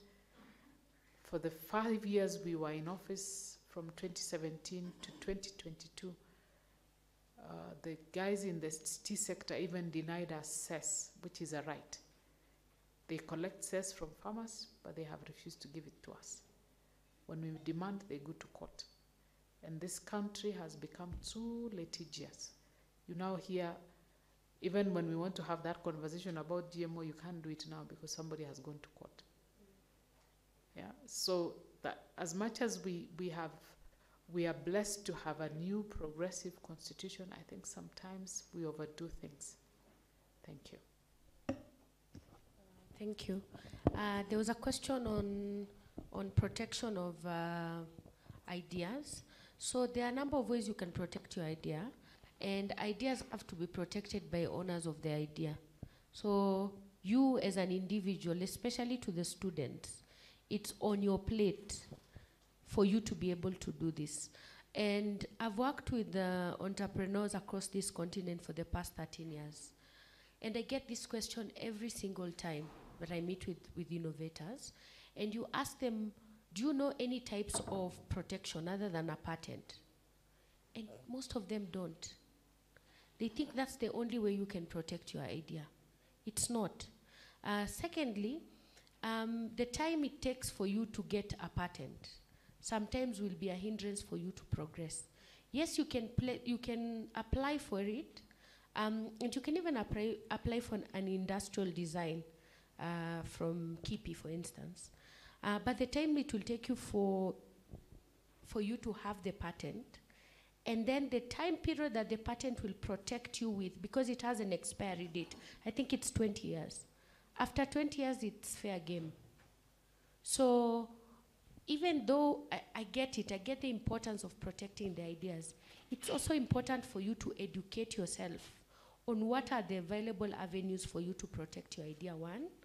Two, which one will be the best protection measure for you as an innovator to use immediately for you to move as fast as possible, especially in this world where we live in where things move extremely fast. For you, for that 18 months that you're waiting to hear from KIPI, what has happened within that 18 months? You think people who are in that industry will have just waited and you can make some very little iteration to this initial idea and have it and own it. So I, I think institutions, of course, have, you know, I think they have IP officers that can guide you on these issues. But secondly, as an innovator, it must be on your plate to understand what will protect your idea first and then go for that. So I think it's a two-way, yes? The institution can protect you. The organizations you work with, uh, you know, private sector or whatever, can also try to, but I mean, it's not really in their interest, to be very fair and frank with you. It's more in your interest for you to be able to protect so that you can reap from the knowledge that you've, you've deployed. So if you're an innovator working on, on something, go to the IP office. If not, please read online. These things are everywhere. Not WhatsApp and Facebook all the time. Let's read about these things, especially to young Kenyans who are working on, on innovative solutions. You guys are brilliant, but on this front, you, you relax the, the rope a little bit. So to the innovators, that's a challenge to you. Yeah. We can take the other questions. Okay. My name is Max Mi Kusimba, a student at RVTTI, Technical Training Institute. I take diploma in automotive engineering. So my question is, as a institution, we have invented machines and projects which are community solving problem. But as you finish your course and you go out there, you search a place where you can deliver your skills and creativity, mm. like in a company. As you go there, they ask you that this job, you are supposed to have five years experience. How will you assist such a student who has skills and creative but does not have five years experience? Secondly, as from the genesis, we know that fuel is an unrenewable source of energy, isn't it? So, us as a technical institution, we try to come up with uh, an electric vehicles to do away with fuel, where we wanted to overcome a Tesla as a technical institution. But as we requested for the gadgets for invention of that auto electric vehicle, it was too expensive. So it forced us to come up with a prototype.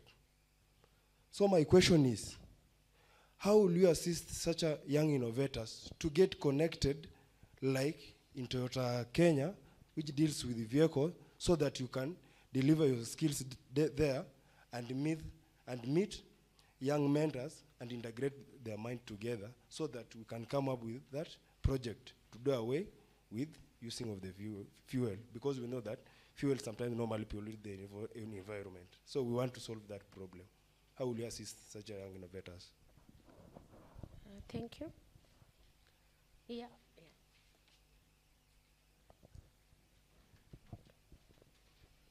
Please raise your hand up like this so that we can see you because you can't see some of your hands that are down. Yeah. Uh, thank you very much for uh, what I've had since I came. Uh, I came a bit late, so probably even what I want to ask has has already been uh, uh, an answer has been given to it uh, earlier. My name is Professor Tieno, Department of Biological Sciences.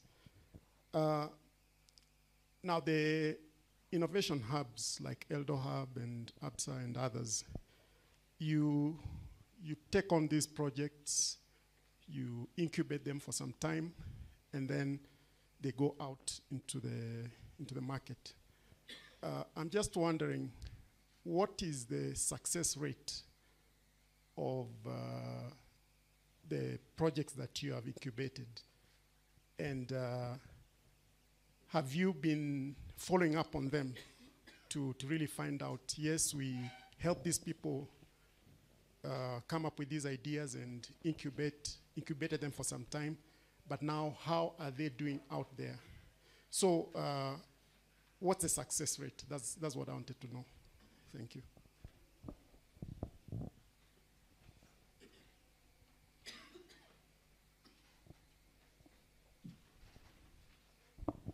Thank you. Through the chair, our sponsors, and the University of Eldoret. My name is Muga Moses, School of Agriculture and Biotechnology, Department of Seed, Crop, and Horticulture Science. As an innovator, being guided with the vision on- of University of Eldoret to be a premier university that is globally visible in knowledge generation and technologically innovation. I have a question. Need of markets and collaboration. Through our county governments, TVETs, University of Eldoret, and banks. As an innovator, with a cutting edge technology, after the technology is ripe, in business they say maximize profit and minimize cost. I would like us to collaborate.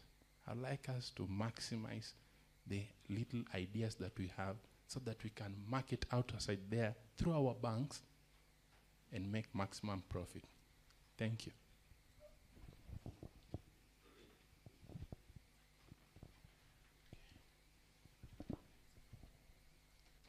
Okay, good afternoon.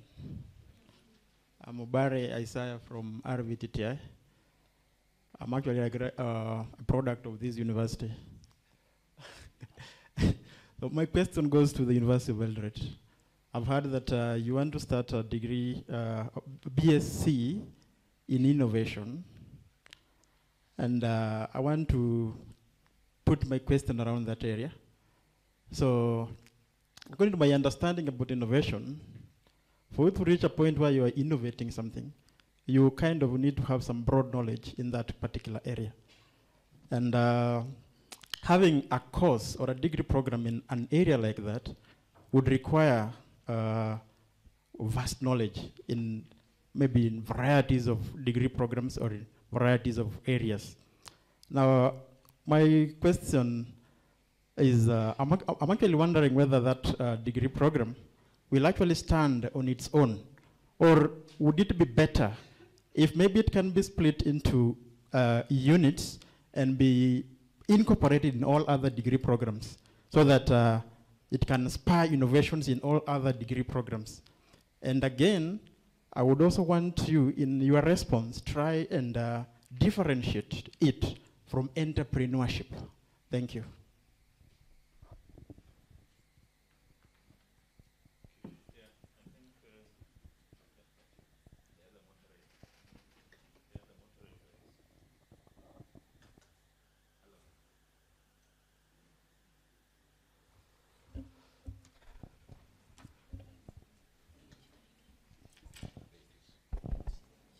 Uh, There were four questions. I think uh, you can answer the ones that you think uh, Okay. are appropriate. We can start from you going. Yeah. Oh, you, you later you. Thank, thank you. I'd, I'd like to go first and take on the question that was raised about markets. Um, we'll go back to part of what we started off earlier, that there's a lot of data, but that data is not collated. For instance, today, even when we are talking about um, government asking farmers to sell their maize, they are not saying sell to who. And even those who need to buy, they don't know where that maize is. So as we speak right now, we have to be intentional about availing data in a platform where everybody can access from wherever. So that we know that there is farmer X and farmer Y in region A and region Z who has this amount of maize, this amount of beans. There is trader C who needs, and that trader C can pick either A or Y for that product. So sometimes we, we struggle. You find in the past we've had regions pouring out their milk.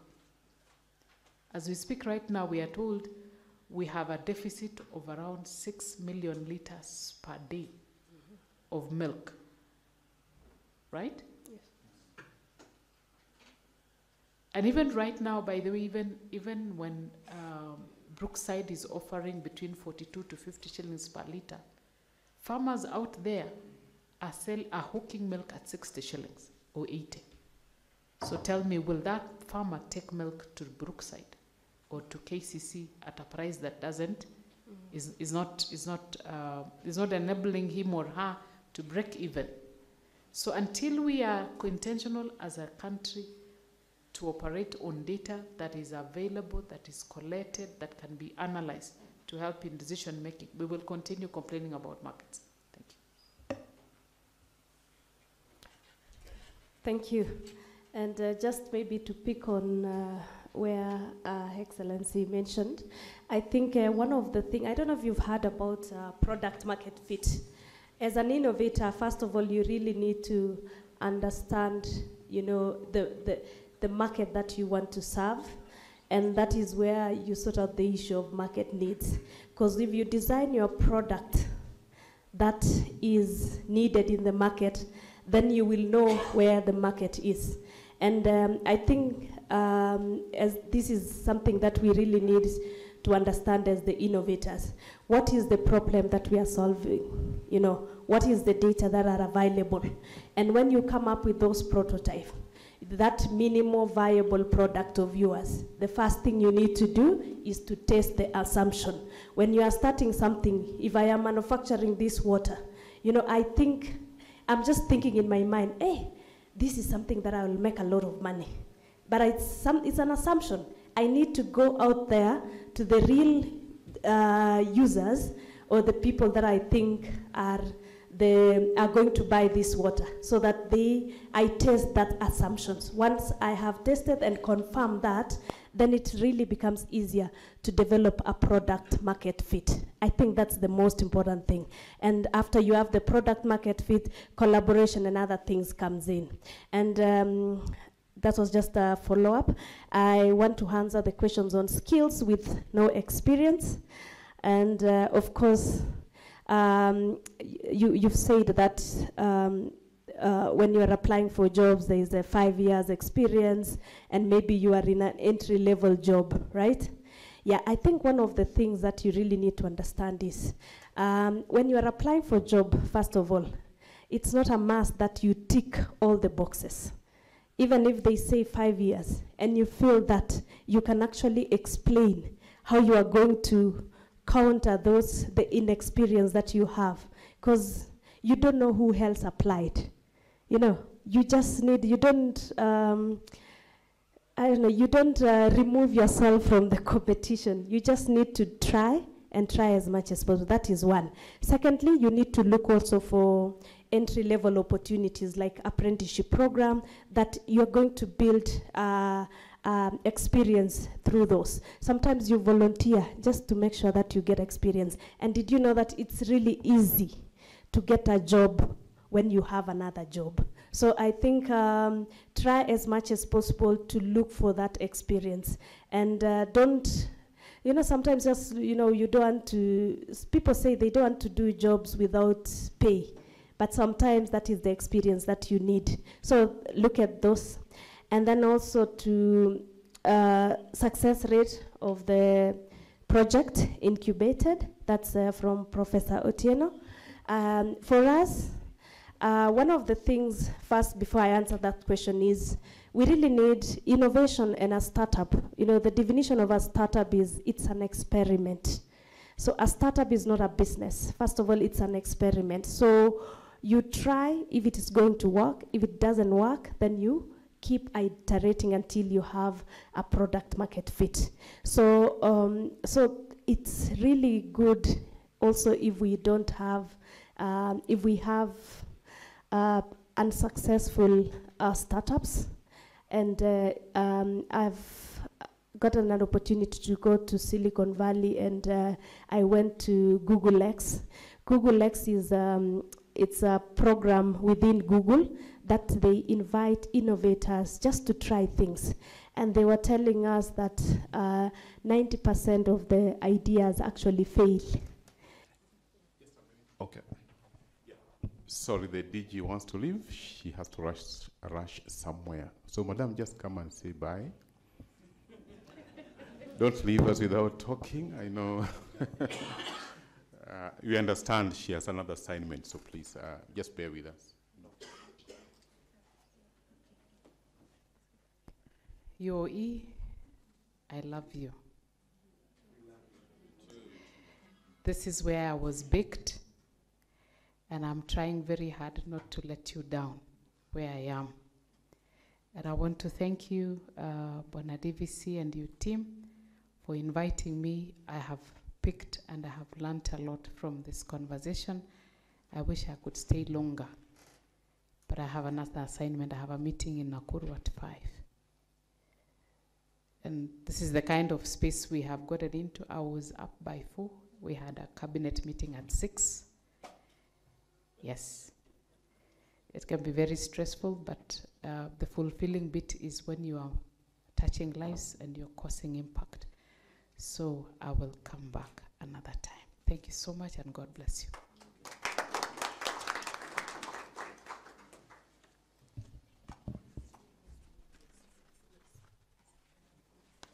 The DG, as you go, let me just remind you that your ICT team came and linked up with us because of data that you're talking about. But because of COVID, we slackened a little bit. So could you urge them to come back? We are ready. Thank you. Uh, can we can we continue? Um, have all of you reacted to the questions? Did Kenya Seed have something to say? No? Uh, can we pick another two questions only? Then I think we can wrap up. Please. If there is. If there isn't, There if is the one. questions have been asked and answered, please don't ask. There is one here. Only one. Any other? Only one. Okay, we Then I'll, this one. we'll hand over to the moderator to finish up, right? Thank you. And you respond to the UOE question. Yes, the DVC is coming back Okay, answer thank you. Um, I'm Kipto Enoch from RVTTI. Okay, we've had very extensive innovations as youths, but the innovations end up disappearing. So the our lady there has, has explained how the innovations can be protected by our own selves. But how is the government going to protect these innovations from the innovators themselves? Thank you.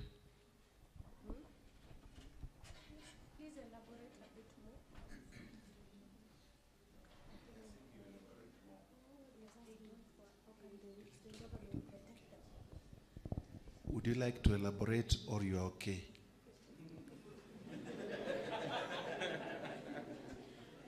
He's asking about innovations that are disappearing. So, a bit more context would be, would be good. Disappearing in what sense? They are not, okay, uh, is it that the innovators stop working on those innovations? Is it that somebody else takes those innovations? Is it, it disappear in what sense? Or they're being stolen. Okay, I can explain in this time. There was a time uh, a young man in Migori innovated a, a chopper using locally made materials. So the, the man, after coming, ma- coming up with the project, it just went and disappeared. And it, the man was not empowered to go and do more.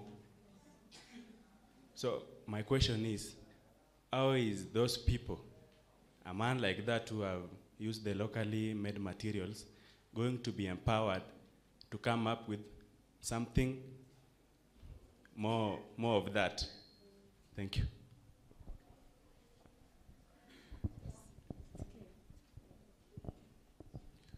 maybe now we request The hub, responses. the hub might answer that. Could be a question of maybe funding or lack of mentors, etc., etc. But Yeah, I, I really think that um, there is a need for more collaboration to support such kind of innovations. And uh, I'm currently the chairperson of the Association of Countrywide Innovation Hubs, a network which brings together all innovation hubs across the country. And uh, I think uh, one of the things when we started is we were looking at there is a lot of concentration of innovations in the capital city, which is Nairobi. And then the other areas, there were no innovation hubs to actually support such kind of uh, innovators to bring their ideas to life. So currently we have uh, 70 uh, innovation hubs uh, across the country and our focus is outside Nairobi. So if you go to Kisumu, you will find Lake Hub, you'll find Fab Lab, and uh, you'll find uh, Winam Capital. If we come to Rift Valley, we have Eldo Hub, we have uh, Tumaini Innovation Centers, even Garissa and all the others. So across the country, we have these innovation hubs that can actually support you. You just need to know where they are You just need to walk into those offices and see and ask them how they can, you know, better support to bring those ideas to life. If they are, don't have the capacity to support you, they will definitely link you to someone who has the capacity to be able to support you. And in terms of uh, protecting your idea, I think uh, always when you are negotiating with someone, make sure that you have it written, make sure you have MOUs, make sure you utilize the non-disclosure agreements so that you, you don't have someone uh, who has more money and more capacity implementing your idea. And of course, we have KIPI and the rest, of which Sheila had already discussed more on, you know, how, um, you know, you need to also to evaluate, you know, that time of waiting for the for KIPI to respond, the money that is needed. Do you even have that? Is it 30,000? I don't know, to actually uh, work on your idea, to actually uh, patent etc, etc. But then uh, there's small wins that you can work on to actually bring your idea to life as you work on the other things. Because you might end up using a lot of money and, and then you realize that uh, your idea is not working. Like I said, a startup is an experiment. You're trying to see whether you can build a business out of it. So uh, you need to really evaluate so many things. And one thing that I would like to leave you with is always fail very fast and fail cheap. Yeah, failing cheap means you don't have to use a lot of money to actually validate your idea. So by the time you start putting in a lot of money, you, you, you need to have gotten, um, you, have, you have validated in the market. So that's one of the things. But please, uh, to everyone, try to connect with the different innovation hubs across the country. Thank you. Thank you very much. Now, I'll call the DVC to come and answer the, the question about the, the degree program in innovation and uh, then give his closing remarks. Thanks. I thought we have educationists here like Professor Kitainge. but maybe before he comes, I think uh, this is not a narrow degree like the degree in innovation, no. And the way it's, it's being developed it involves all the sectors, but centered from the School of Business. So this will be business will be coming in. It will involve even all the other areas. So it's something that is in the process like what is being done at, uh, I don't know whether you know what is being done at JKUAT. It is, JKUAT, they call it what? It's, it's a very long name. Bachelor of Science in Technology Innovation something? Yes, it's a long thing, but then it involves everything because it has to be something that is going to be a cross, a cross-cutting issue, a cross-cutting kind of course that will enable. But when I talked, I talked at different levels. There's one level that there's one course which will be cutting across in first year or second year. Then there is this one which will be a course that people who are now interested in that line, and then there will be at a, a master's level. So this is something that is a work in progress, and be assured that in the development of these courses, it will not go without criticism, and it's a long process. Like right now, we have a commission for uni university education here with us for some courses we developed several years ago. So it has to go through several approval process. So be assured that it's not something that's going to be narrow. I think that's what I can say in terms of that. And uh, Sheila, I mean, I'm being told to close, but I've not heard from you. you are the one who was uh, moderating, so maybe yeah. you can say something before? Yes. Yeah.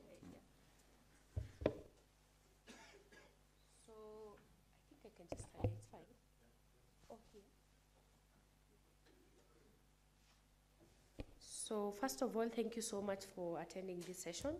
Uh, it's been quite insightful to get the, the questions. Um, but I think more importantly, uh, forums like this are meant to create those platforms for discussion and even more importantly for networking. And I'd like that before we leave this session, we get to know at least one other person. And so I will ask, in the roles that we are, we, I don't know how we can do it. Um, I don't know, in circles, or you get to interact with at least four people.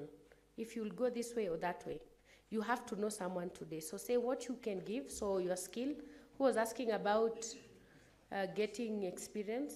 Pitch, pitch yourself. What, what is your name? You're coming from which institution, what are you studying, what would you want, and what can you get from somebody else, not with your friends. So if you're sitting four of you from the same class, I know those ones who are smiling there, you are not allowed to be in the same group. the, I am also a lecturer, by the way, so you're, not, you're not allowed to, to be in the same group. Um, as Innovate UK, we really, really value knowledge transfer. And I've had a lot of people talking about what are some of the opportunities for funding, for instance, for collaboration.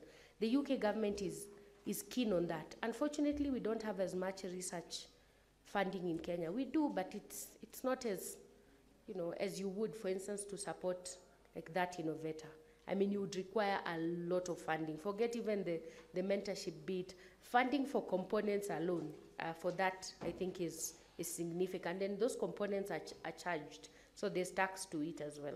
Bringing them in requires a lot of, um, of uh, processes as well, so which takes time. So anyway, um, I think look for those opportunities beyond Kenya. We have a lot of if you can check Innovate UK um, website or UKRI, UK Research and Innovation Funding. There are a lot of opportunities in, in energy, in agriculture, social sciences, in the creative economy, that they have collaborative R&D opportunities for people. Collaborative R&D means an institution, for instance, are RVTTI can work with University of Eldoret and University of Liverpool um, on research that you're working on or whatever um, in, in the energy sector, in whichever sector. Look for those opportunities because they give you a grant that will allow you to research and develop the product, then it's easy for you to commercialize because at that point, you already have the product. Sometimes it's easy to put the money in because then you're not sure if it will work or not. And industry also, to be very honest with you, they rarely invest in R&D earlier on because it's very high risk. If I'm bringing someone into my, my company and we do 15 tons a day and we want to test a component that could shut down 15 tons a day, they will not give you that opportunity. So looking for those types of funding that allow you to be able to do that is important. Thank you so much for coming here. I hope we had a sign-up sheet um, that uh, you've put your emails. If not, we can, I don't know how we can get that so that I can send you some of these opportunities for, for collaboration, for funding, and looking at the other sectors as well that you can learn some things from. Uh, there are even people who look for scholarships for, for some of the research that they do. So if we could get the contacts, I will be able to share those opportunities with you. So maybe make sure before you leave, you sign up somewhere we can give a paper. Just give us your name. There's a paper that is moving Yeah, please just put yeah put your name and institution and the email. Uh, then we can we can share those uh, opportunities with you. Thank you. So I'd like for us to network because I know Kenyans were very shy. We will just talk to our friends. So today I'll force you, unfortunately. yeah, so that the next time you, you go to an event, you make sure you know one person. And it's, I've even told you the questions. I mean, it's hard to start a conversation when you don't know what to say, right? Yes, so now you know what to say. You say your name, which institution you're from, if you're studying or if you're a lecturer, and then what are you looking for? It could be, you know, I'm looking for internship opportunities, and what can you give? So what you, what you can give is, I am studying mechanical engineering at the moment. I've been working on this. So if you know people in that industry, I'm the go-to guy. I've even give you a leakage. I mean, come on. come on. So, so I don't know, uh, should we do it in a, because the way you are seated like this, I am very skeptical that you know each other. So we'll do it this way. If we, can we stand? Is it okay for us to stand and form circles? We've been sitting for long. Come on, please, please. Yeah, let's form circles and go around. So yeah, you can have yeah two rows. In fact, it can be easy. So face the other, the, the ones in front face the ones behind. No, these ones, no, then the other ones face the other ones. Make sure you face the other row. You face this one, uh, no, the third one face the fourth. The third row face the, so the first row Uh-uh, everyone is facing behind. Look at me. Look at me. Look at me. So the first and second face the third row. So this, you just turn. You turn, turn to the next row. Then the guy was asking about patent. Your row turns to the fourth row. Yes. Yes. And then, uh-uh, you don't turn. Face him. Then the other row behind you, the other row. Yes, uh-uh, you have to turn. Please, for you, move, move close to the other one so that you make sure you are talking to somebody. Make sure you are talking to somebody. Row number one Yes. is the one to turn. Yes. Row number two does There's no turn, yes. Number three, you turn. Number four doesn't turn. Five, you turn. Six doesn't turn. So, uh, those two are friends. Stop talking to each other. I can see you.